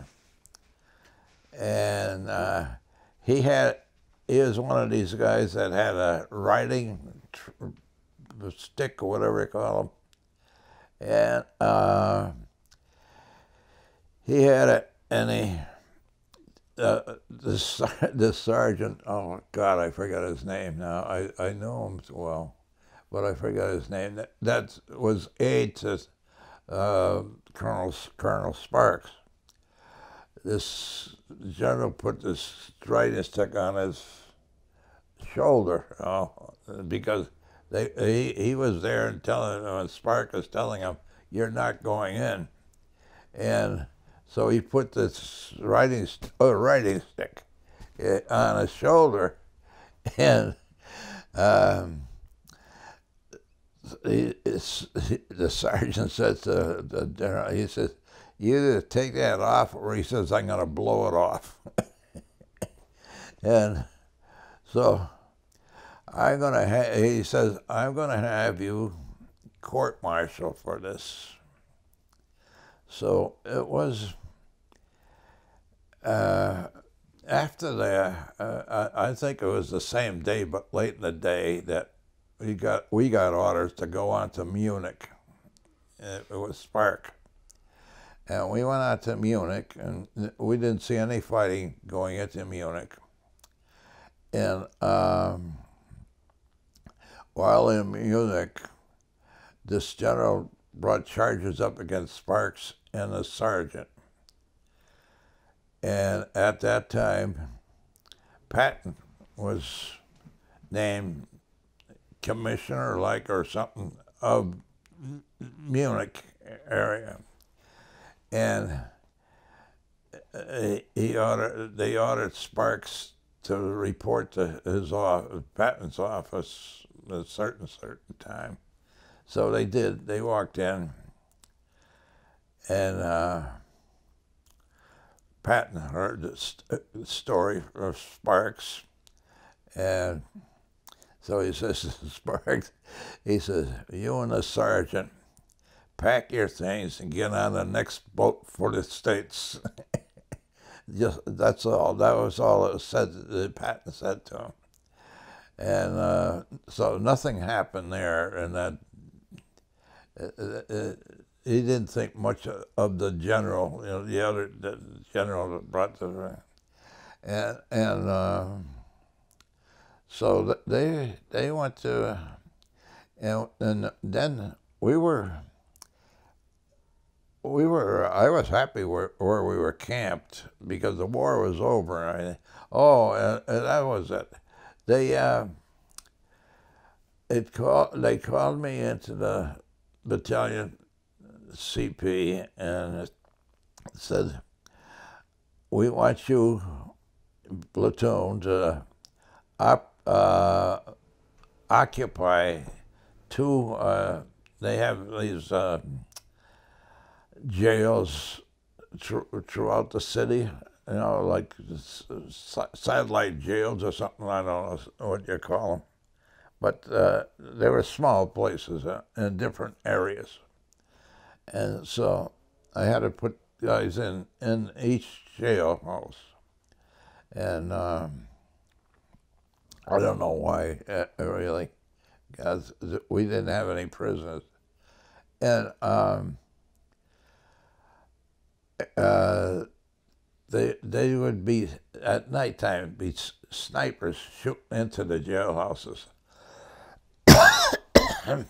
in the in, in the uh, uh, they, they weren't soldiers; they were just civilians and and so. Uh,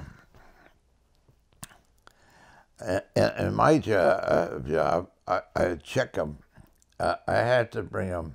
I, I, I had a Jeep, of course. I had a Jeep all the way after I made platoon sergeant. Um, I had to go from each jail and bring them like breakfast, lunch, and dinner at different times during the day. And uh, that that worked out uh, all right because I got to see part of Munich and it, it, Munich was altogether different than all the others. It, it was another different country, really. well, get some water, sir. Yeah, I got some. I'm, I'm, we're gonna have to take a break for one sec. I, I was wounded two times. And, and take take me through. You know, what was the first time? Where was it? What happened? Oh God! Now I gotta think. Um, the first time. It, it was in, Italy. Uh, it, it, it was from an artillery show.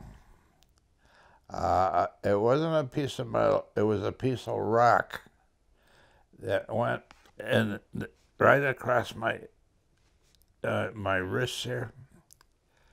And my wrists, uh, I didn't I didn't do anything about it because I thought it was just the same. And uh, two days later, my wrist was up like a balloon, and uh, I went to the medics and uh, they had me. I'll never forget. Take my helmet off. They poured water in, and they heated it up on a Coleman stove, and had me soak it in. And I, I had to do that for three three days. be, Then went back, and um, the doctor lanced it, and all this pus and stuff come out. Yeah, bandage it up. I had to have it in a sling like this.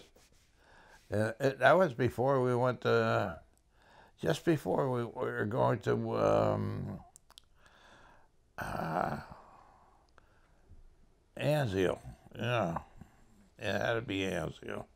And I mean, do you remember what you were doing when that shell landed?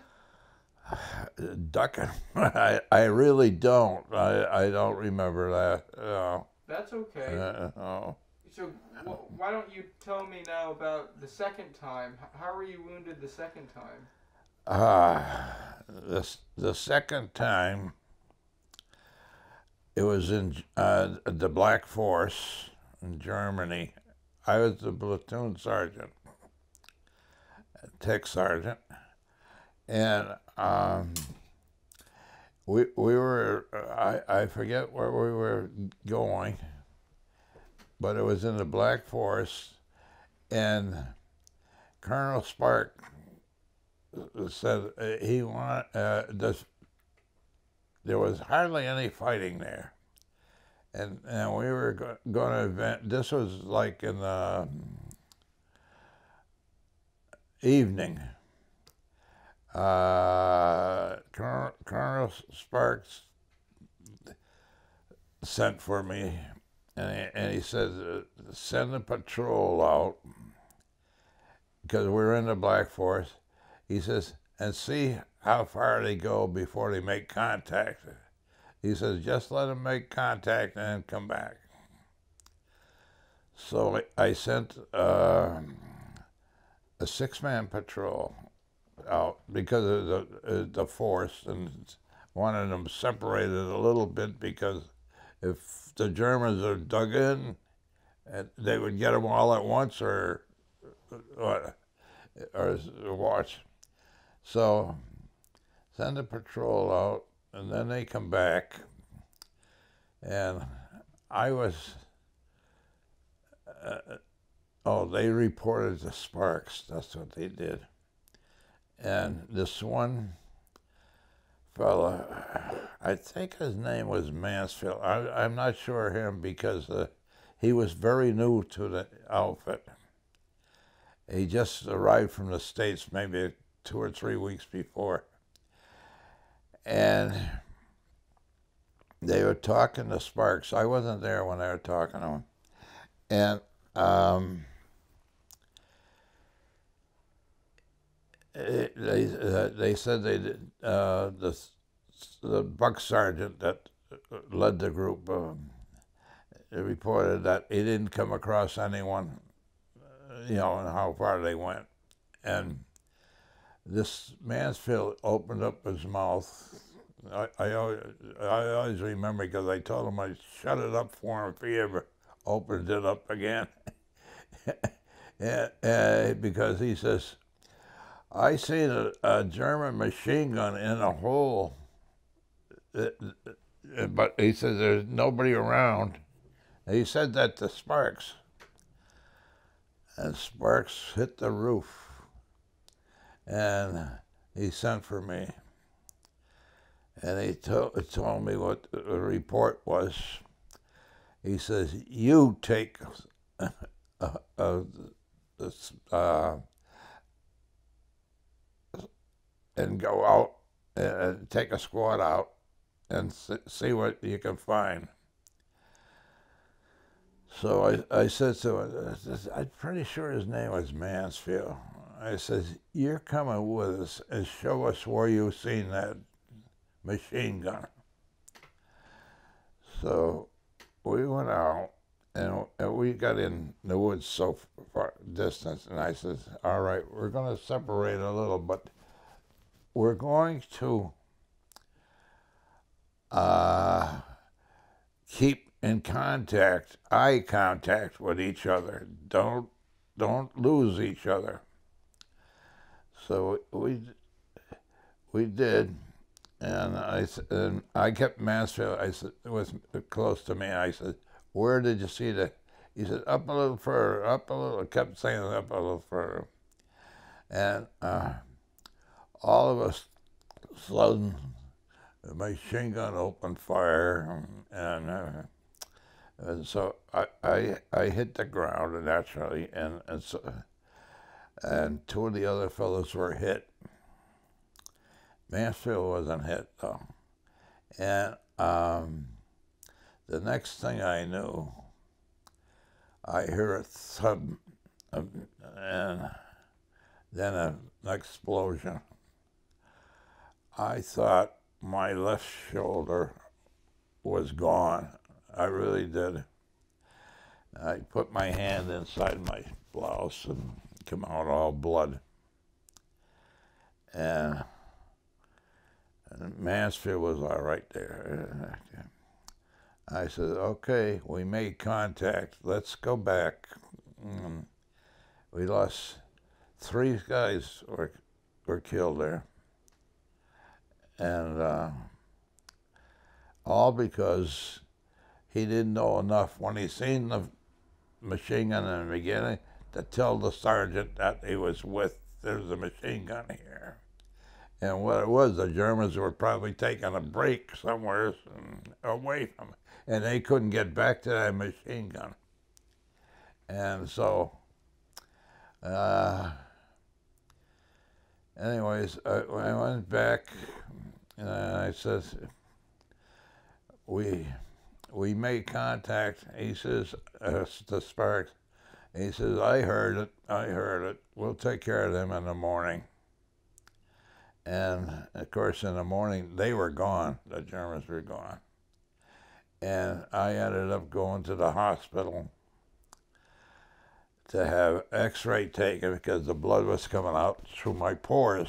It didn't break the skin, just the concussion forced the blood through my pores. And I, I spent two days in the hospital, and I, I went up to the nurse and said, I'm going back to my outfit. She says, You'll go back when the doctor tells you to. And so that night I went back to the outfit. But uh, that was the story there. That's how I got it. Uh, uh, that incident that explosion. I mean, you think that was a shell that just? It was a concussion grenade. It was a grenade. Concussion grenade. And, and you mentioned some of the Americans. Three of them were killed. Yeah. I mean, how did you know they had been killed and not just wounded? Uh, uh, because uh, when it got daylight, this was a, this happened at uh, early in the night and uh, uh, so in the morning we went, uh, we went, you know, scouting a party out. We were advancing then at that spot because that's where the machine gun was, and um, I wasn't with them because I had to go have my shoulder examined, and um, they come across the, the bodies I just have some general questions about your time uh, after the invasion of France all the way to the end of the war. Yeah. I'll ask you these general questions and whatever specific stories you can come up with. Um, sir, can you please tell me about some of the times you remember using the anti-tank gun? Anti-tank, uh, the 57? That's the anti-tank gun. Uh, uh, I, I used it, actually I used it once after that. We didn't see any German tanks. Uh, it, it was at a house. Um, there, uh, there was, uh, uh, we got some, uh, just rifle fire from this house. And, and so we uh, had one, one, we had three of those uh, 57s in the platoon. I had one of them uh, aim, aim for the house. I says, put a shot through a window somewhere, anywhere, because you get one shot through, who's ever in there is going to leave. And they did. And uh, there was some, I think it was about four or five Germans in it. And they went out the back door down into a woods that was behind the, the house. And uh, that's all we wanted. But, but I mean, tell me more about that. I mean, where was that? that- uh, uh, exactly where, I don't know. Uh, I couldn't, couldn't remember where. It was in Germany, though. Okay. It was in Germany, uh, out in the out in the country. It wasn't. uh, It wasn't in uh, a city or anything like that. It was a, a farmhouse. And then, I mean, tell me, I mean, what were the what kind of damage was that German rifle fire doing? Were they pinning anyone down, or Oh no, they were firing at us. We were we were moving forward, uh, and we stopped at a. I don't know what it was, a a just in the field, I guess, to, uh, because uh, we weren't uh, uh, receiving any fire from anywhere around that area, and then this uh, rifle fire started, and so we opened fire on them with with one one shot. That's all, and uh, they moved out of there, and we weren't out to kill anyone. Then. I mean, if it, they get killed, they got killed, but we weren't looking for because the war was ending, and uh, we of course we didn't want any of our fellows hurt either. did you guys fire at the Germans as they left the house? No, we didn't see them leave the house because they were out, went out the back way, we, opposite, well, opposite way that we were. And uh, So what makes you think they left the house and they weren't wounded in the house? because we didn't get any fire after that at all, and uh, we tried to stay away from houses uh, because uh, a lot of people still, you know, stayed in the house, and there were children and uh, you know, women and so forth. What uh? So was that the only time you guys used the 57 while you were in the platoon? Oh no, we had uh, uh, 60 millimeter uh, machine guns. We had the machine guns. Uh, we had three of them. Well, three, four, four, uh, four. Can you tell me about Uh. some of the times you remember using the machine guns? Uh, uh, yeah, it was. Uh, uh, we were uh, advancing in Germany. It was similar to that what I just said. You, uh, there was a, a American squad on the first floor of this house that was tra- trapped because on the second floor was Germans, and uh, if uh, the American force couldn't go up the stairs because the Germans had it covered, and they couldn't go out because they, they'd be shot through the, from the windows above. And uh, I forget now who, who told, told me that. So what I did, I set a machine gun, a 60 caliber machine gun, up at at the, at, at the end of, uh, of a building that was away from there, like a um, storage building, uh, and um, I put it at the corner, and and and I had the other fellows watching the windows in case the Germans seen me putting a machine gun out there uh, and uh, fire at them to keep to keep them down, and they did. And uh, they they didn't fire at us. The, the, the, Germans did, and I got the machine gun, 50 caliber machine gun. I I, I really like enjoying uh, shooting the 50 caliber, and I opened fire at one end of the building, the second floor uh, they, they were on the second floor, uh, on the second floor, and I ran the, the whole building down and back. And the fellows on the first floor, which was ours, they they come running out up to where we were, and uh, I don't know if the Germans got out the back way or not because we never. Uh, it was coming near the end of the war, and uh, we, we weren't going to look for trouble. If, if, you know, didn't want any more of our guys shot and killed.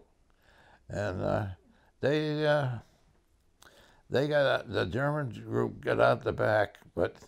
Uh, what makes you think they got out the back? Well, there's nobody left up in the in the house after as after these fellows got out. They they were stationed around there. We were going by there and, and when we stopped to help them.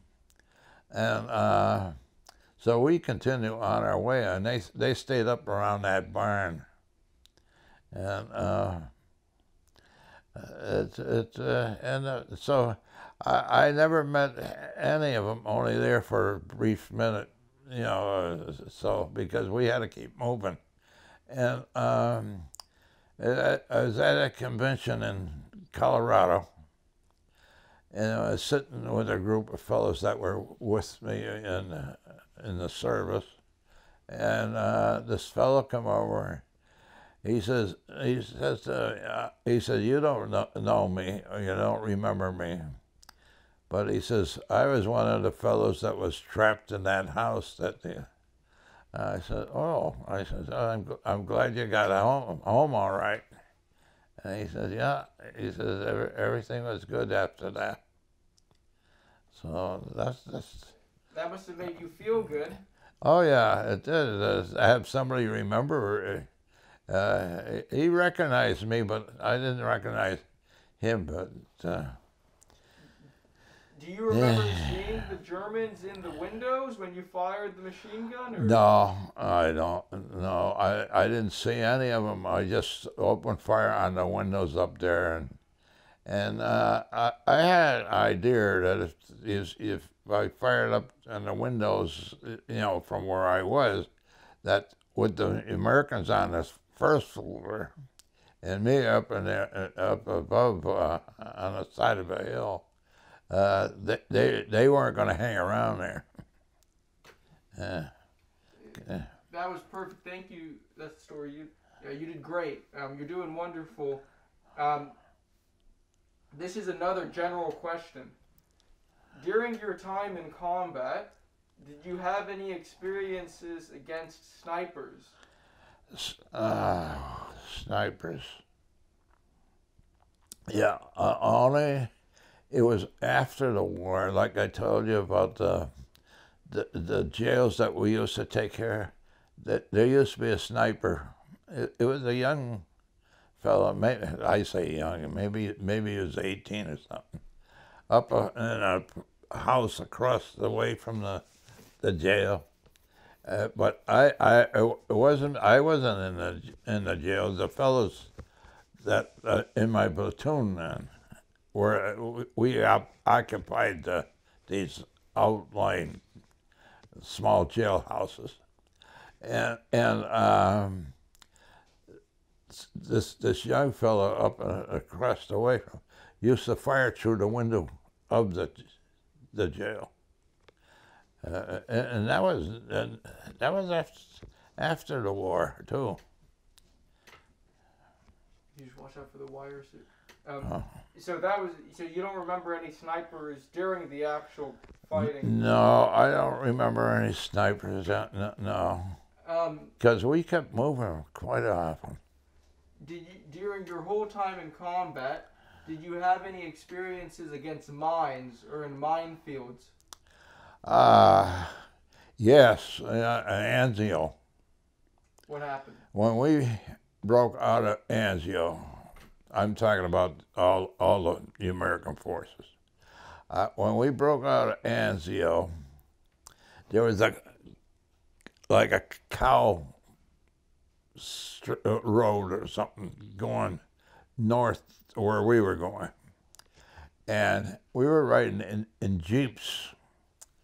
And uh, I, I always figure myself fortunate. Um, the Jeep in front of me has four fellows in, in it, and we had four fellows in ours, and then there was um, another Jeep behind us, and then a one and a half ton truck that uh, carried the rest of the platoon. And, and they had. Well, the Jeep in front, we always kept, oh, maybe 20, 30 yards apart. We, you know, we didn't like tailgate or anything like that. We kept separated. And, and because we were breaking out of Anzio, we didn't know how far the Germans withdrew or anything like that.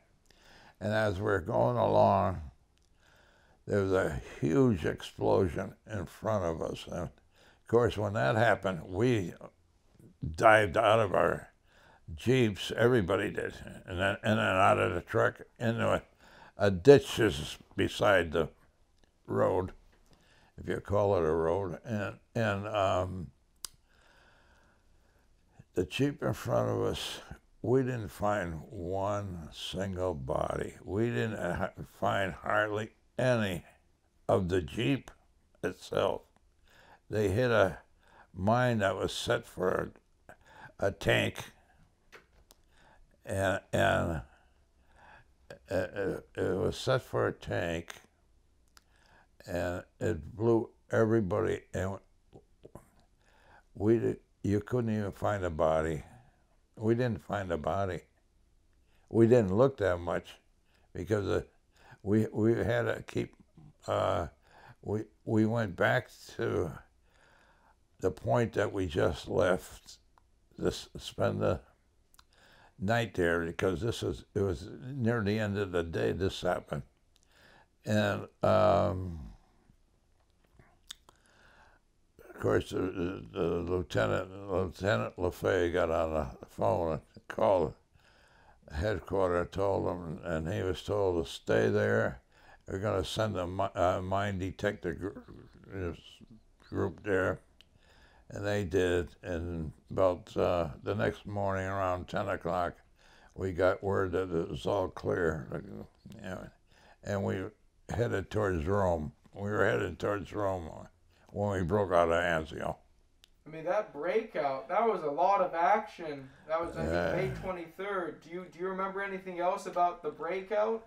Uh, no, the only thing I remember is um, I, it, it wasn't riding in a jeep. I was riding in a one and a half ton truck in the back, and we were we they didn't want us in Rome because four months on Anzio, we were we we we weren't that good looking, and um,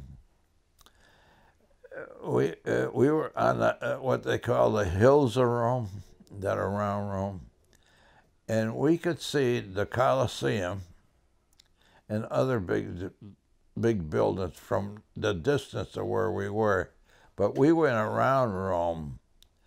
The troops that paraded in Rome weren't in combat. They were all in their good uniforms and so forth to make an impression. But uh, we we went about 50 miles above Rome into um, some kind of a well, I was going to say like an ap- apple orchard or something. I, I don't know what it was that they grew there.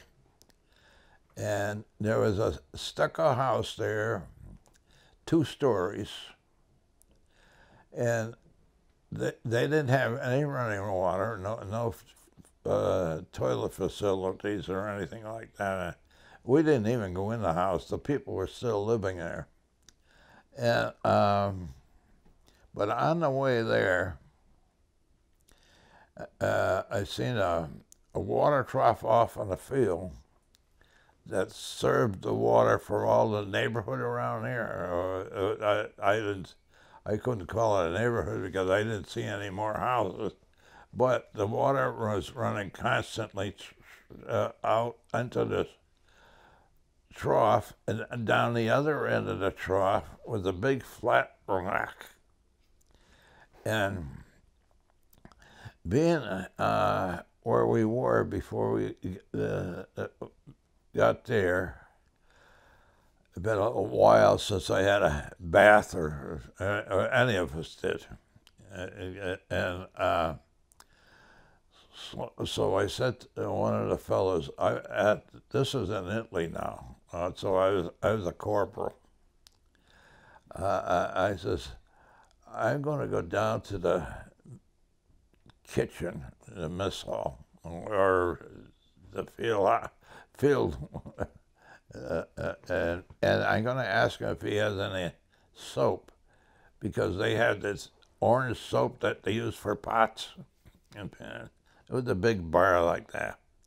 And I'm going to ask him for a piece of soap. I'm going to go back to that um, water trough I seen out in the field is about a mile and a half back. And so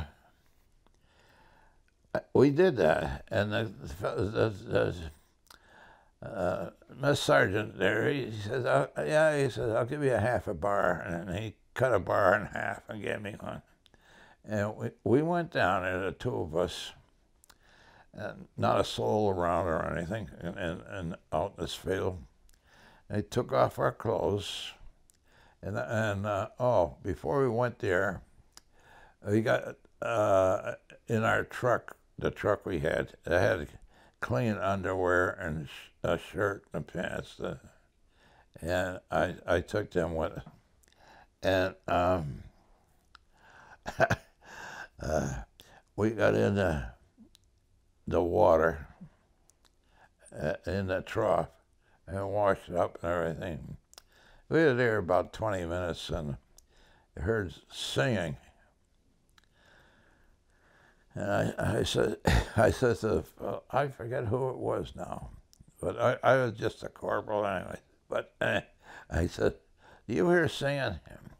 He said, yeah. He said, I hear singing. And so we look around, we still didn't see it. And then all of a sudden, coming out of the woods, were these four women with baskets of clothes over their heads and, and headed towards where we were. And I said, oh boy, we're, we're naked in here. and so they come, nod to us and big smiles on their face. And they were down where the flat rock was. And they uh, start washing clothes down there.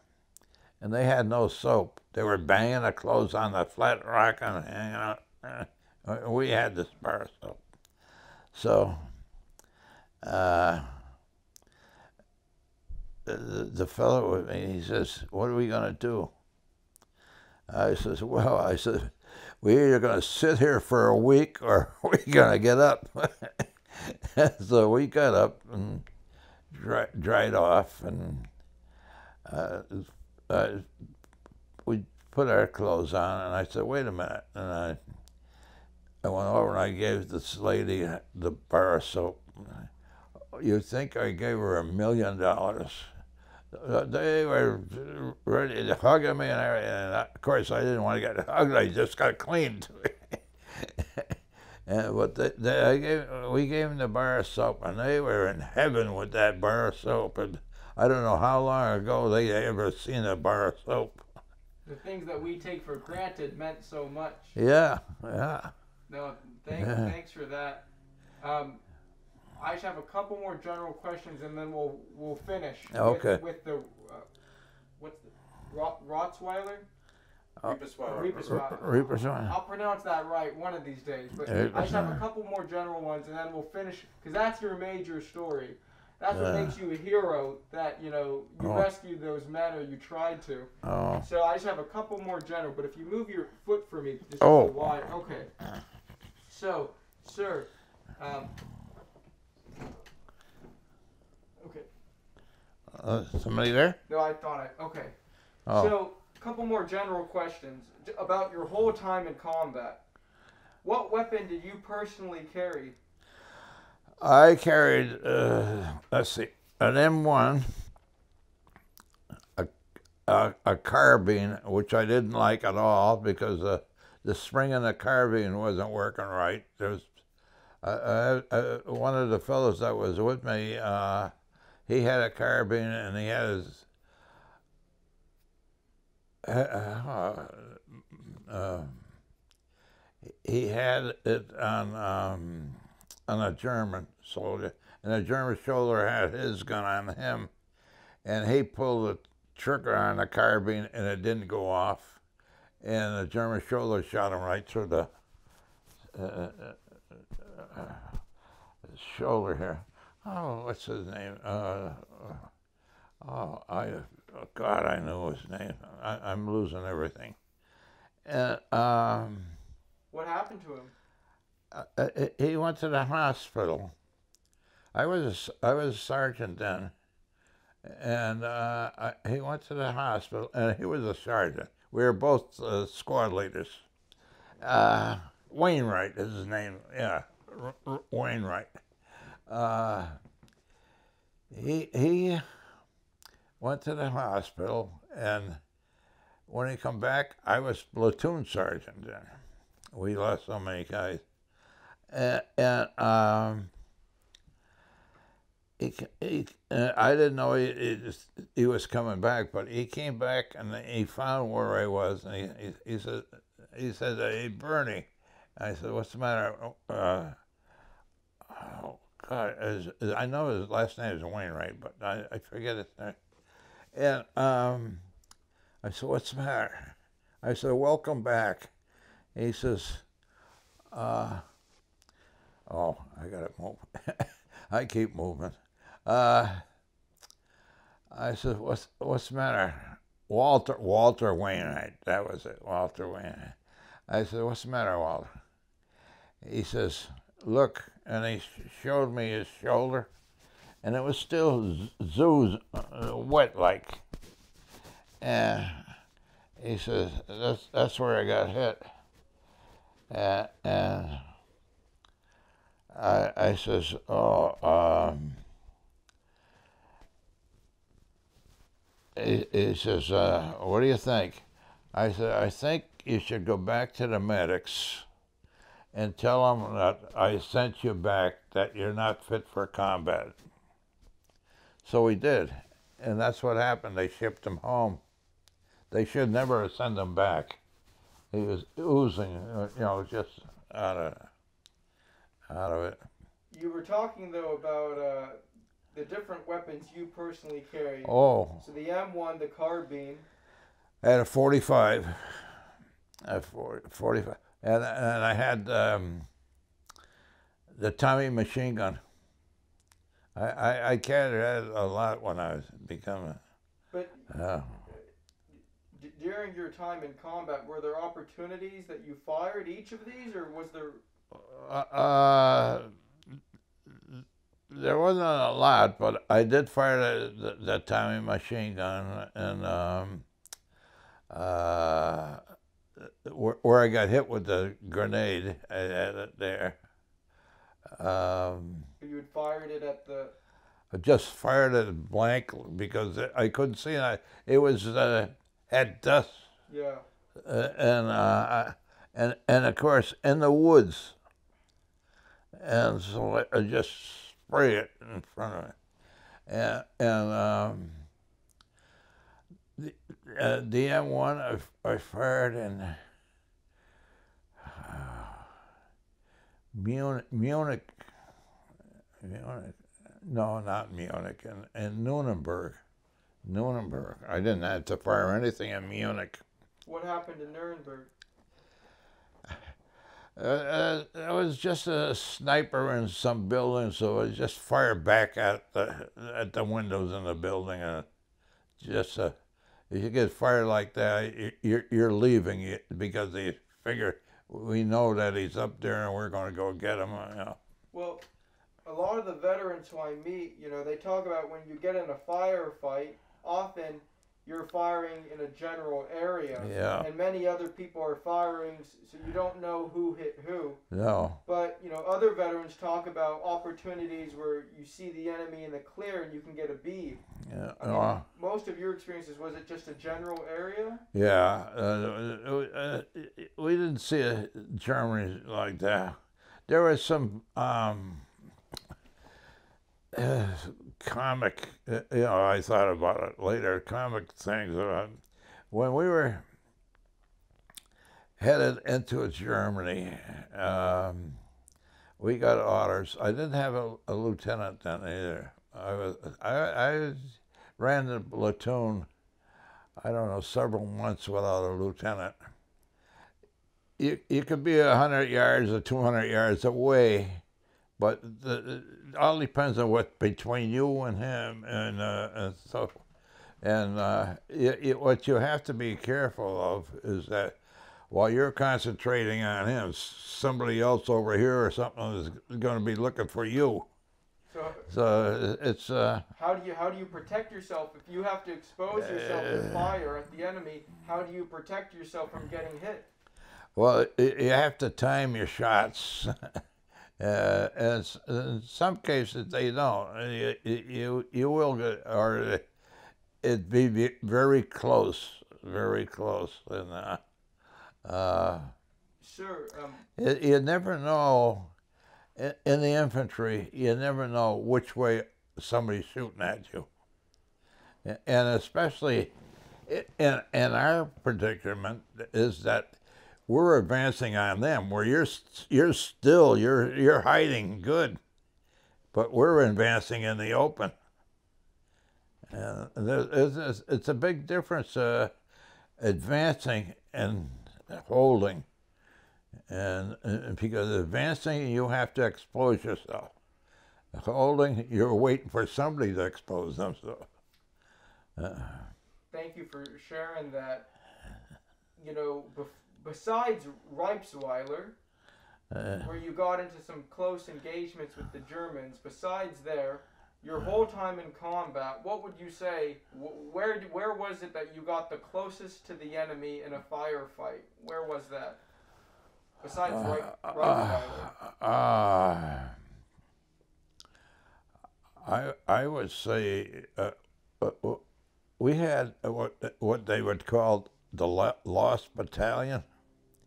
There was two companies, well, where I, um, where I said uh, Matthias uh, uh, got shot in the woods. Uh, there's two companies that were surrounded, and we were trying to break through into them.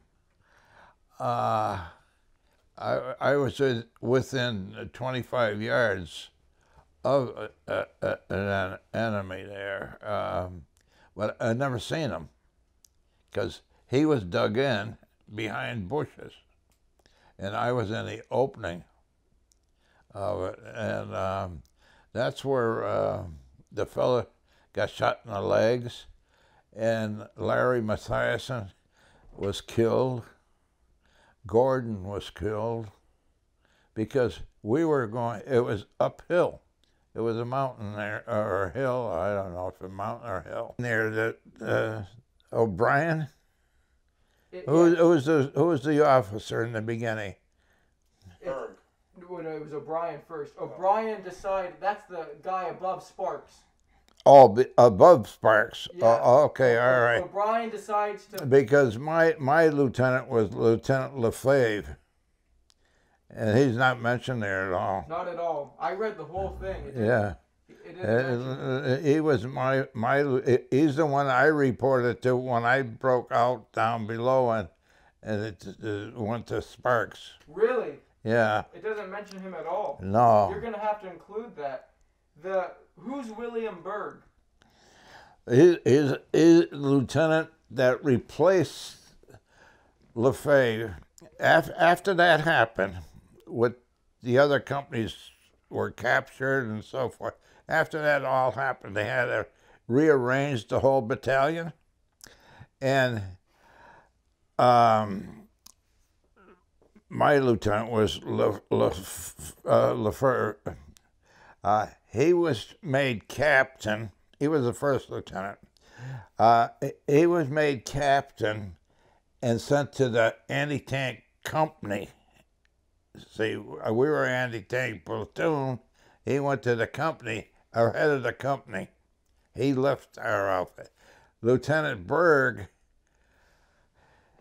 I was, I was at least a month and a half to two months without a lieutenant. That's when you became kind of in charge. Yeah, and um, Lieutenant Berg took over uh, Le, Le, uh, Charles Le, Charles Lefebvre. Oh, he took over the anti-tank platoon. Lieutenant Berg did. But during this whole incident, did you have anything to do with Berg? No. So that's wrong then. Yeah, that's wrong because Berg wasn't in there at all, uh, unless he was somewhere in the company area or something like that. Because I don't know where he came from uh, after Le, Lefebvre. When when we pulled back, we pulled into a an old barn, uh, you know, in, in the back, and uh, I, I was laying on the ground on a straw in the, in the barn, and um, somebody from headquarters came in and got hold of me. Oh, uh, that's when I got promoted to pl- platoon sergeant because Gordon was one of the ones that was killed. He was our platoon sergeant then. Gordon, he was killed in in the uh, advance there.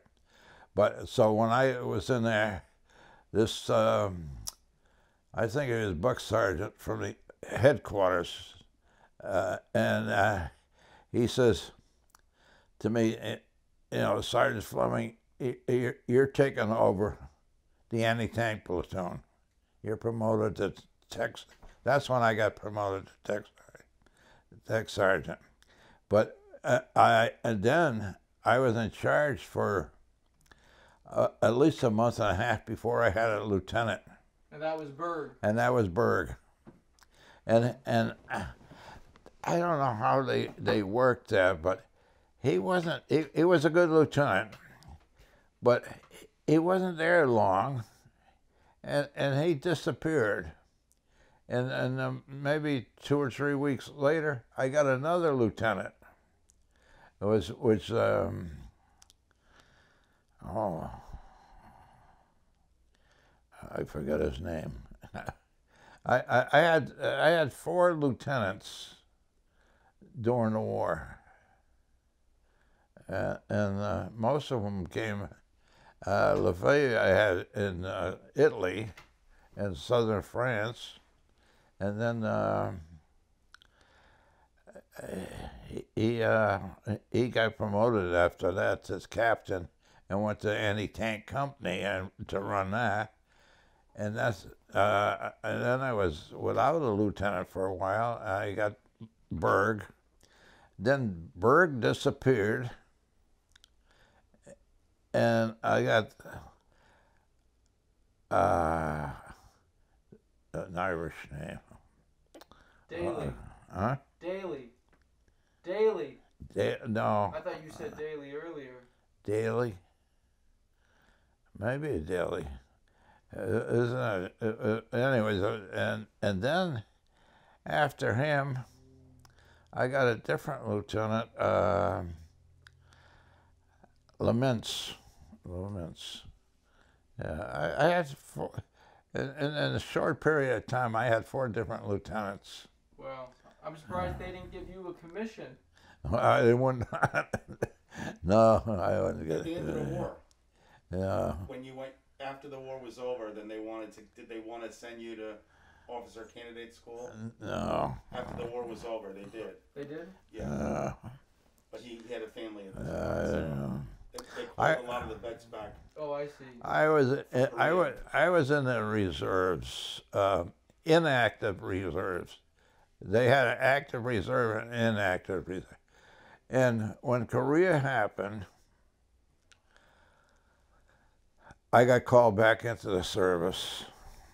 And Jimmy was the baby then, and uh, I was sent to Fort Hood, Texas.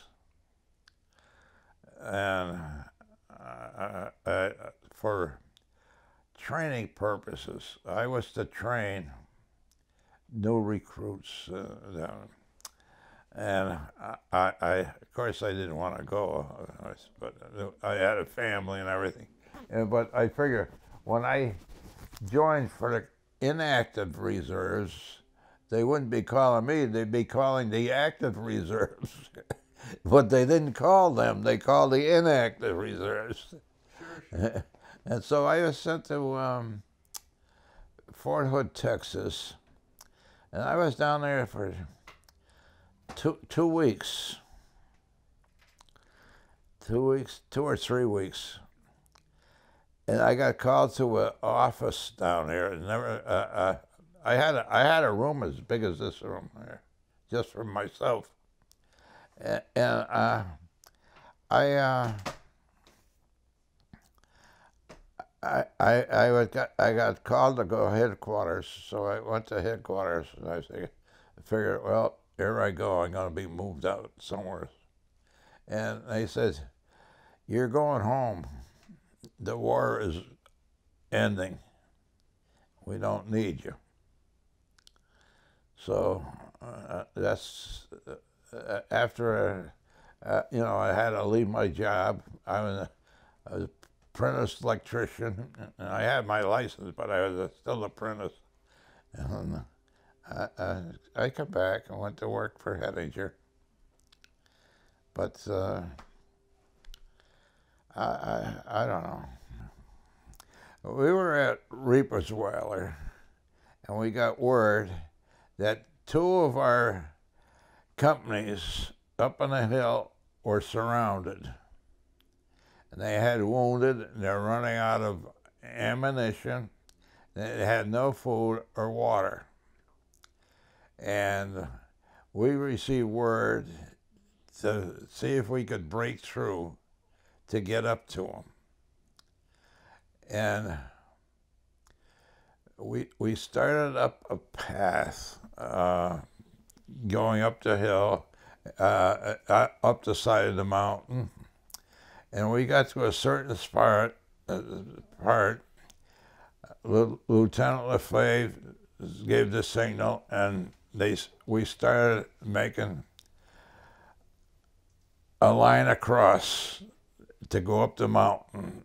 We so we we, we walked up this far, single file, and we went across, and then we started up, and the Germans opened fire all along uh, uh, the line that we were on. And uh, we were getting heavy fire, and we seen an indentation in the ground where a tree was. And I had the, the fellows that were near me all jump into the hole and get down, and we opened fire from there. And um, then uh, Neff was up uh, uh, uh, uh from another squad. This is my squad in the hall. Uh, I he was shot in the legs, and I went out and brought him back into the hall. And uh, then other fellows start coming in. And I said, "What's going on?" And I said that uh, uh, our uh, oh God, what's his name? Um, our platoon sergeant was killed. Sergeant Wainwright, uh, one of the squad leaders, he was shot through the shoulder. Lieutenant gave the order to withdraw. I says, we didn't get no order to withdraw. And he says, well, everybody pulled back, and two of the other fellows were hit. And then this, uh, uh, and so I asked, uh, well, we're, we're stuck here in this hole. You got a machine gun on us. Um, uh, so I asked for a volunteer, and one, one of the fellows volunteered, and he got maybe oh 15 yards from us when he got hit down, and um, so I I told everybody to stay down. That I'm going for help, and I said, I have to. I going out to see what uh, as I ran out down, it was, um, I came across Larry Matthias. I, am using his name, uh, but uh, I came across Larry, and, he was like sitting there. And I said, Larry, get up and move. And I, I went over to see him, and he was dead. So I continued on down to, uh, and I come across Lieutenant, no, I come across George Welgus and his squad that was down the, the hill more and had a skirmish line across. I says, "What's going on?" Uh, to George, and he says, uh, "He says we're forming a line here." I said, "Where's the lieutenant?" He says, uh, "Down for a little further down." He. So I went down. I seen Lieutenant Lefebvre, and I told him what's going on. I had trapped men up the path, and uh, so he says, "Well," he said, "We'll tell Sparks and see what he says." So Sparks was told, and Sparks ran out. He got on the back of a scout vehicle. It's a, a, a small tank with a 37 millimeter gun on it. And he stood on the back of the tank and rode up to the where the, the men were uh, in the hole, hopped off the tank, carried uh, wounded guys and put them on the back of the tank, and the tank uh, was firing all the time, so the Germans weren't firing at us, and uh,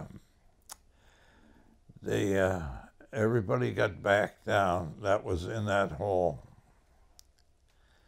and uh, then we found one more fellow. I, I, I found him. He was walking in a daze up the hill. He was shot through the upper part of his leg, and he was just in shock. He didn't know where he was or what he was doing. So I brought him back down and sent sent him with another fellow to the medics.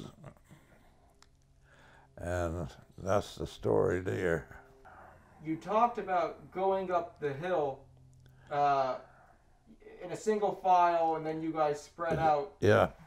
What kind of fire were you guys taking on from the Germans? We, we, we didn't take anything on until we spread out across, and then we started up, and that's when the firing started. We, we, we went up there uh, pretty easily, really. And uh, uh, my, my squad was the last one in line going up. That's how come we were on this side.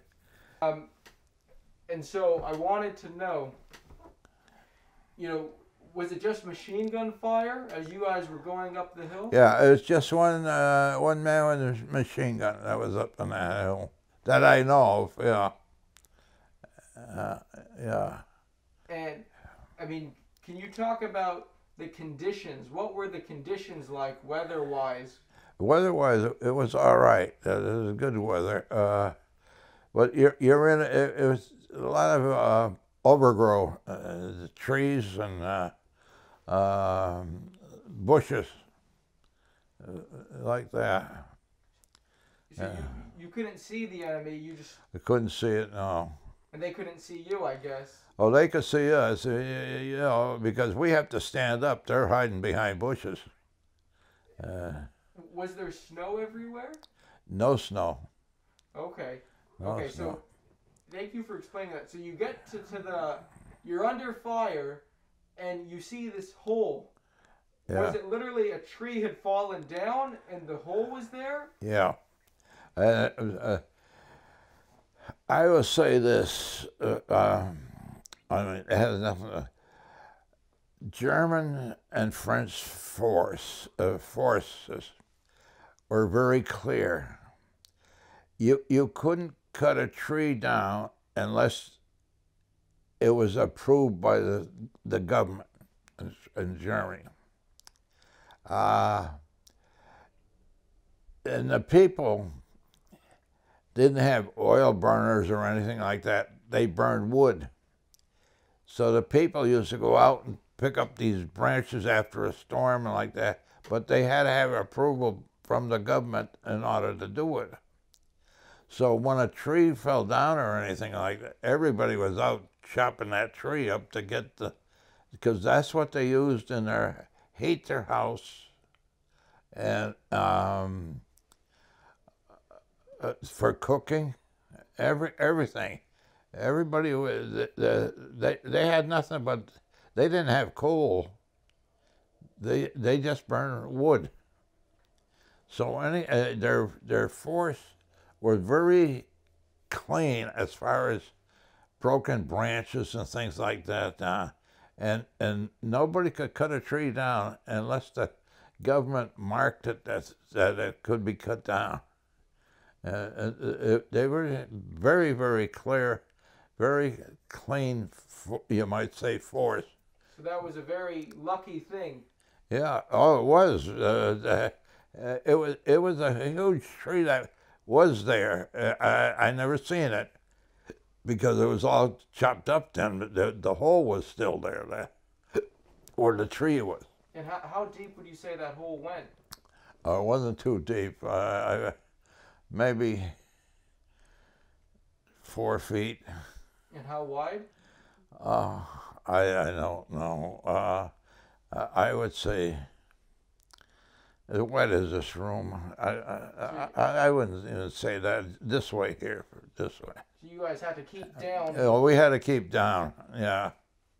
Yeah. Uh, So in the story that you just mentioned, though, you you said it that Neff was hit before you asked for volunteers to go. Is that right? Oh, yeah, In your uh, memory, that's what happened. yeah. So Neff is hit. Where was Neff hit?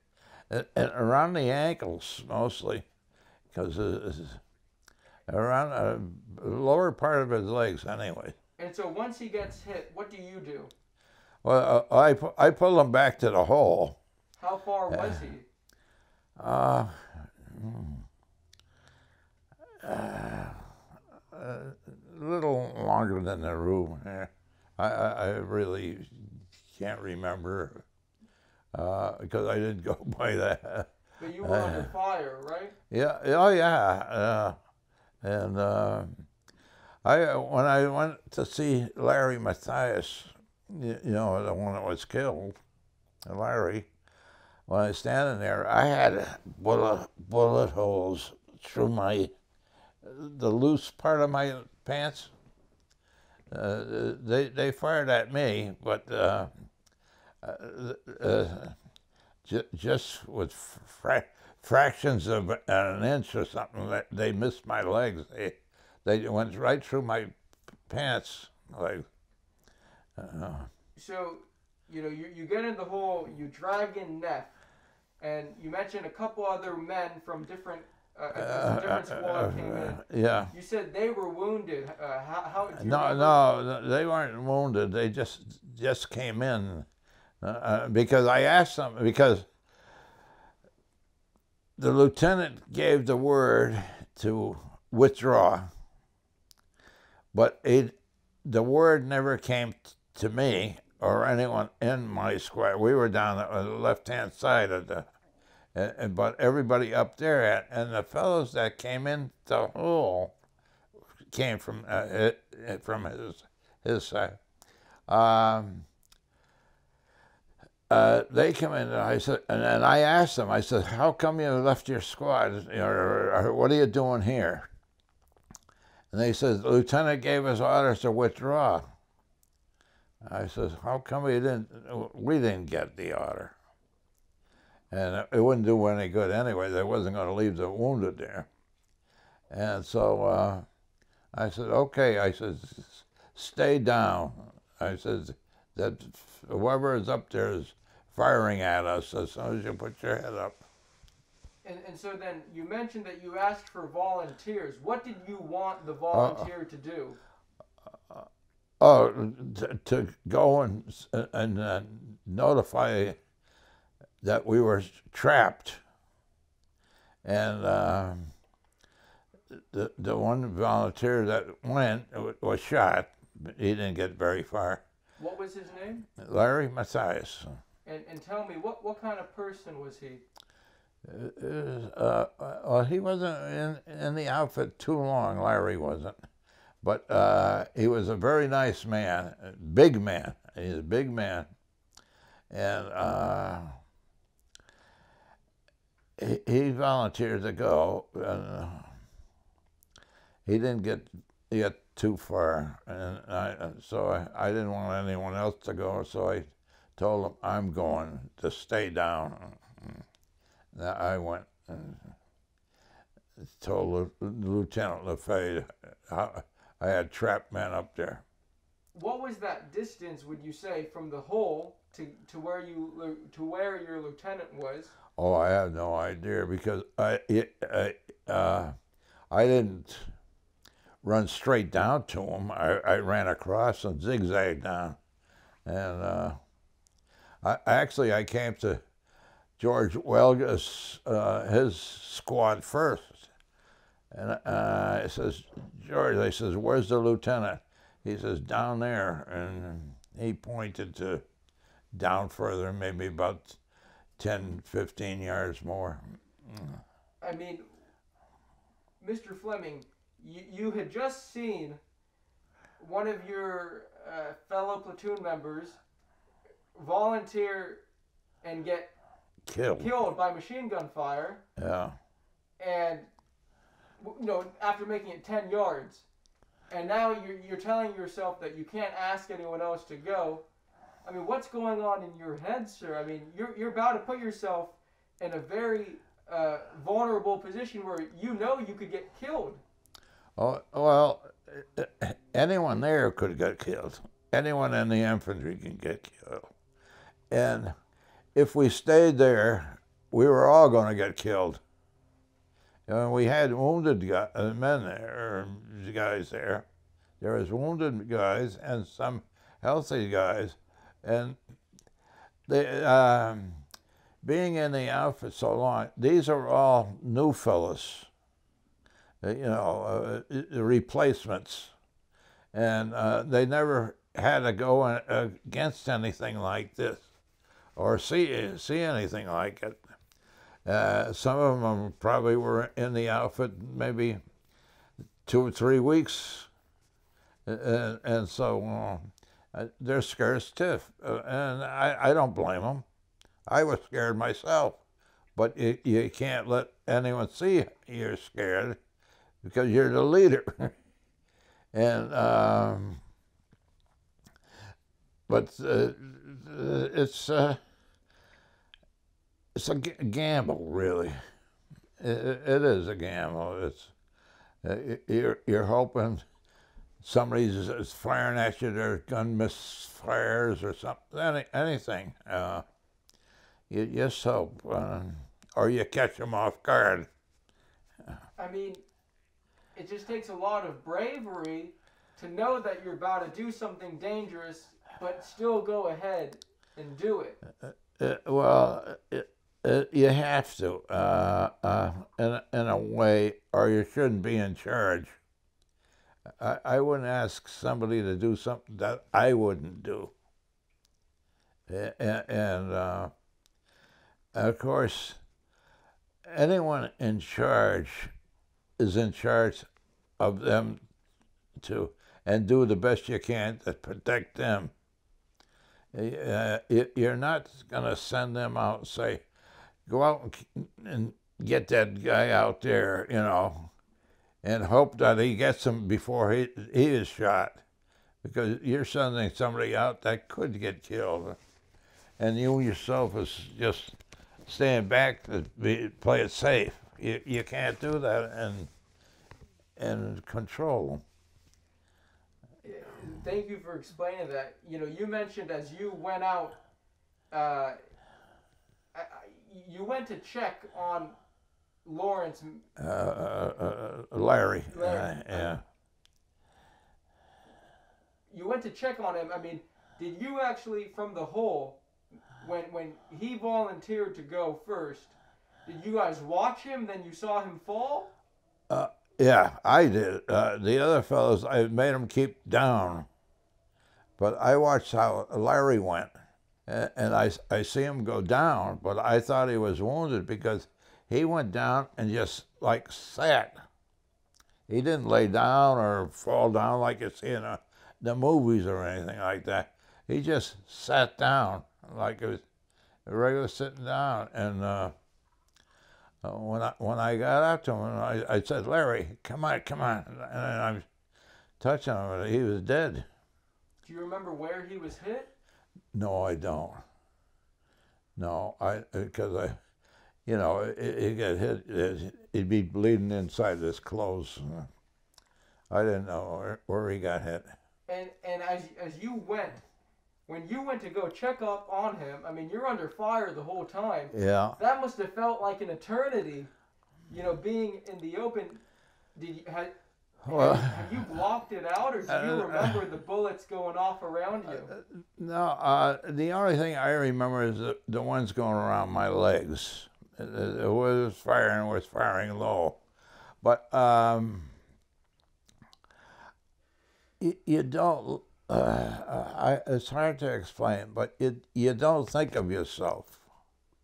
I was thinking of Larry. Uh, I wanted if he was wounded, I was going to take him back to the hole, or, but he was dead, and uh, so I continue on down.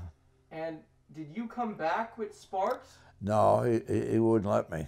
Or you wanted to? Yeah, but Sparks didn't. Uh, Sparks was on it because he was on a, a, a, scout car. It was a scout car built like a tank with a 37 millimeter gun on it. they used to come out and uh, run ahead of, ahead, sometimes ahead of a company that, like when we hit southern France, we, we didn't run into the enemy troops maybe for a mile or two, but so they used to send the scout cars out to find out where the next German offensive uh, defense defenses, and uh, we we were also uh, not not the whole.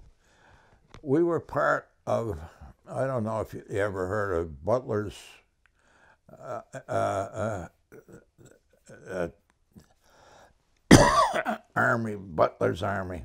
It was made up of all different units, and it was uh, one of these army, uh, armies that, that pushes through, looking for the enemy. And we were we were assigned to them, and we rode on tanks, on the outside of the tanks, and uh, whenever there was a firing, we'd hop off the tank and a group would go. It was scattered fire, really, in southern France, and and uh, when it's, uh, the area was clear, cleared, or if there was a big firing, we went beyond them and they ra- radioed to the units that were in, coming up behind us that you know where the fi- heavy firing was, and, uh, and we would leave the, heavy firing. We I don't know how it was Butler's task force. They call it after General Butler. Larry, Larry Matthias had, had a little baby girl that he had never seen, and he was killed. Do you remember him talking about the baby? No, no, because it, we, we never talked about that, things like that.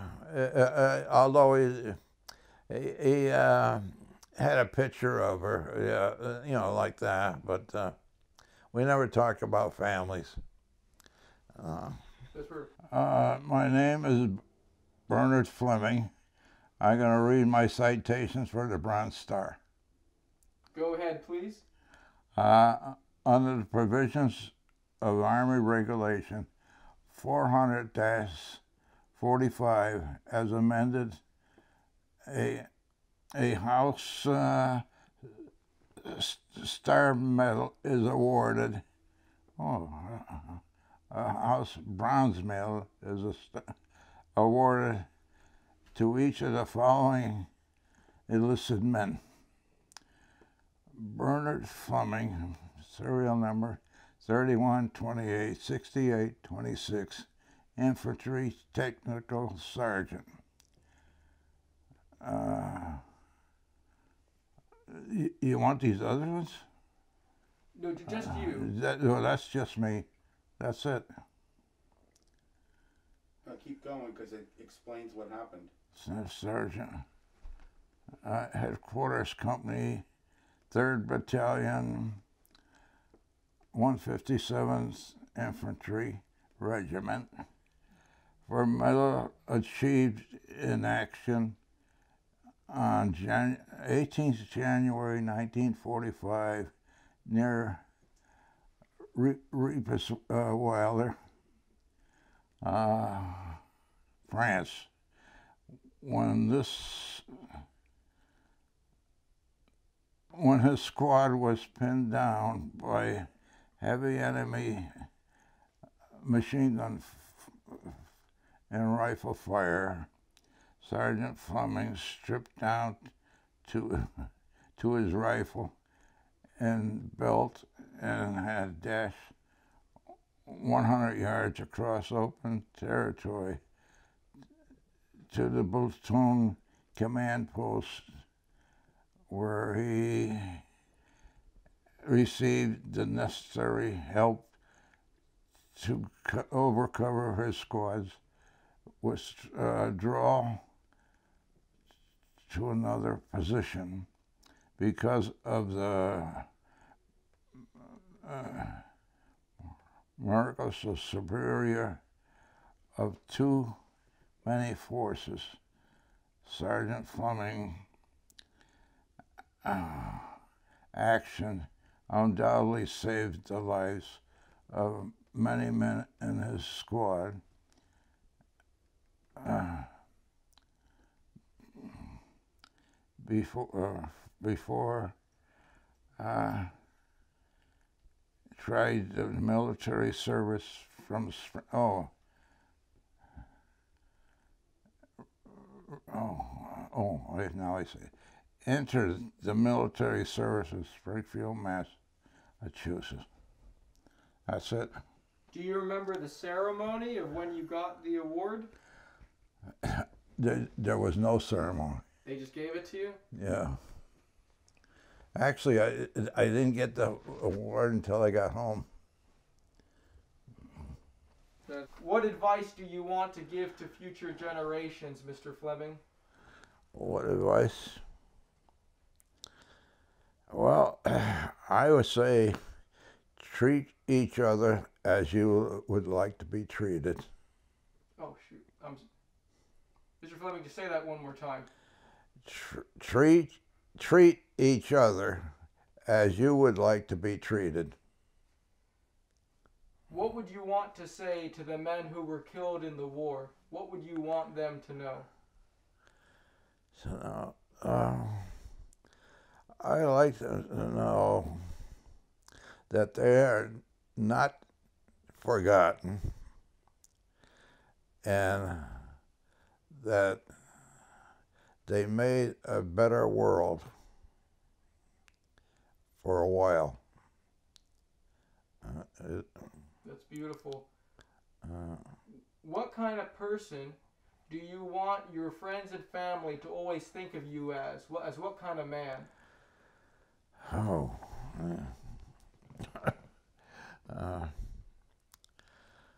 a kind man. If I was kind, I think if I, I would kind to um, all my family and my uh, their husbands. Uh, I, I, I, if you're kind to everybody, uh, you, you get the same reward back. I'm the same age that you were when you were in combat. If you were to give me some advice for my life, what what would you tell me? For, for your life, oh God. Just general life advice. Gotcha. Just treat people the way you want to be treated. That's all. That's all I ever wanted uh, anyone to. If, uh, you don't have to be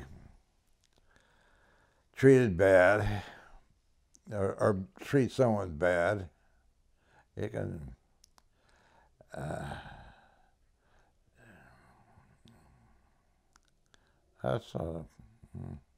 And what can future generations do to make the sacrifices of your generation worth it? Well,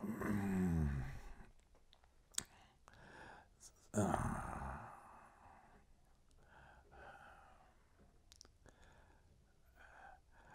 it's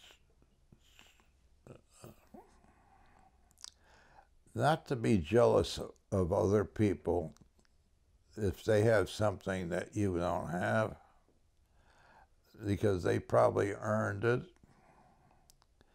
and uh,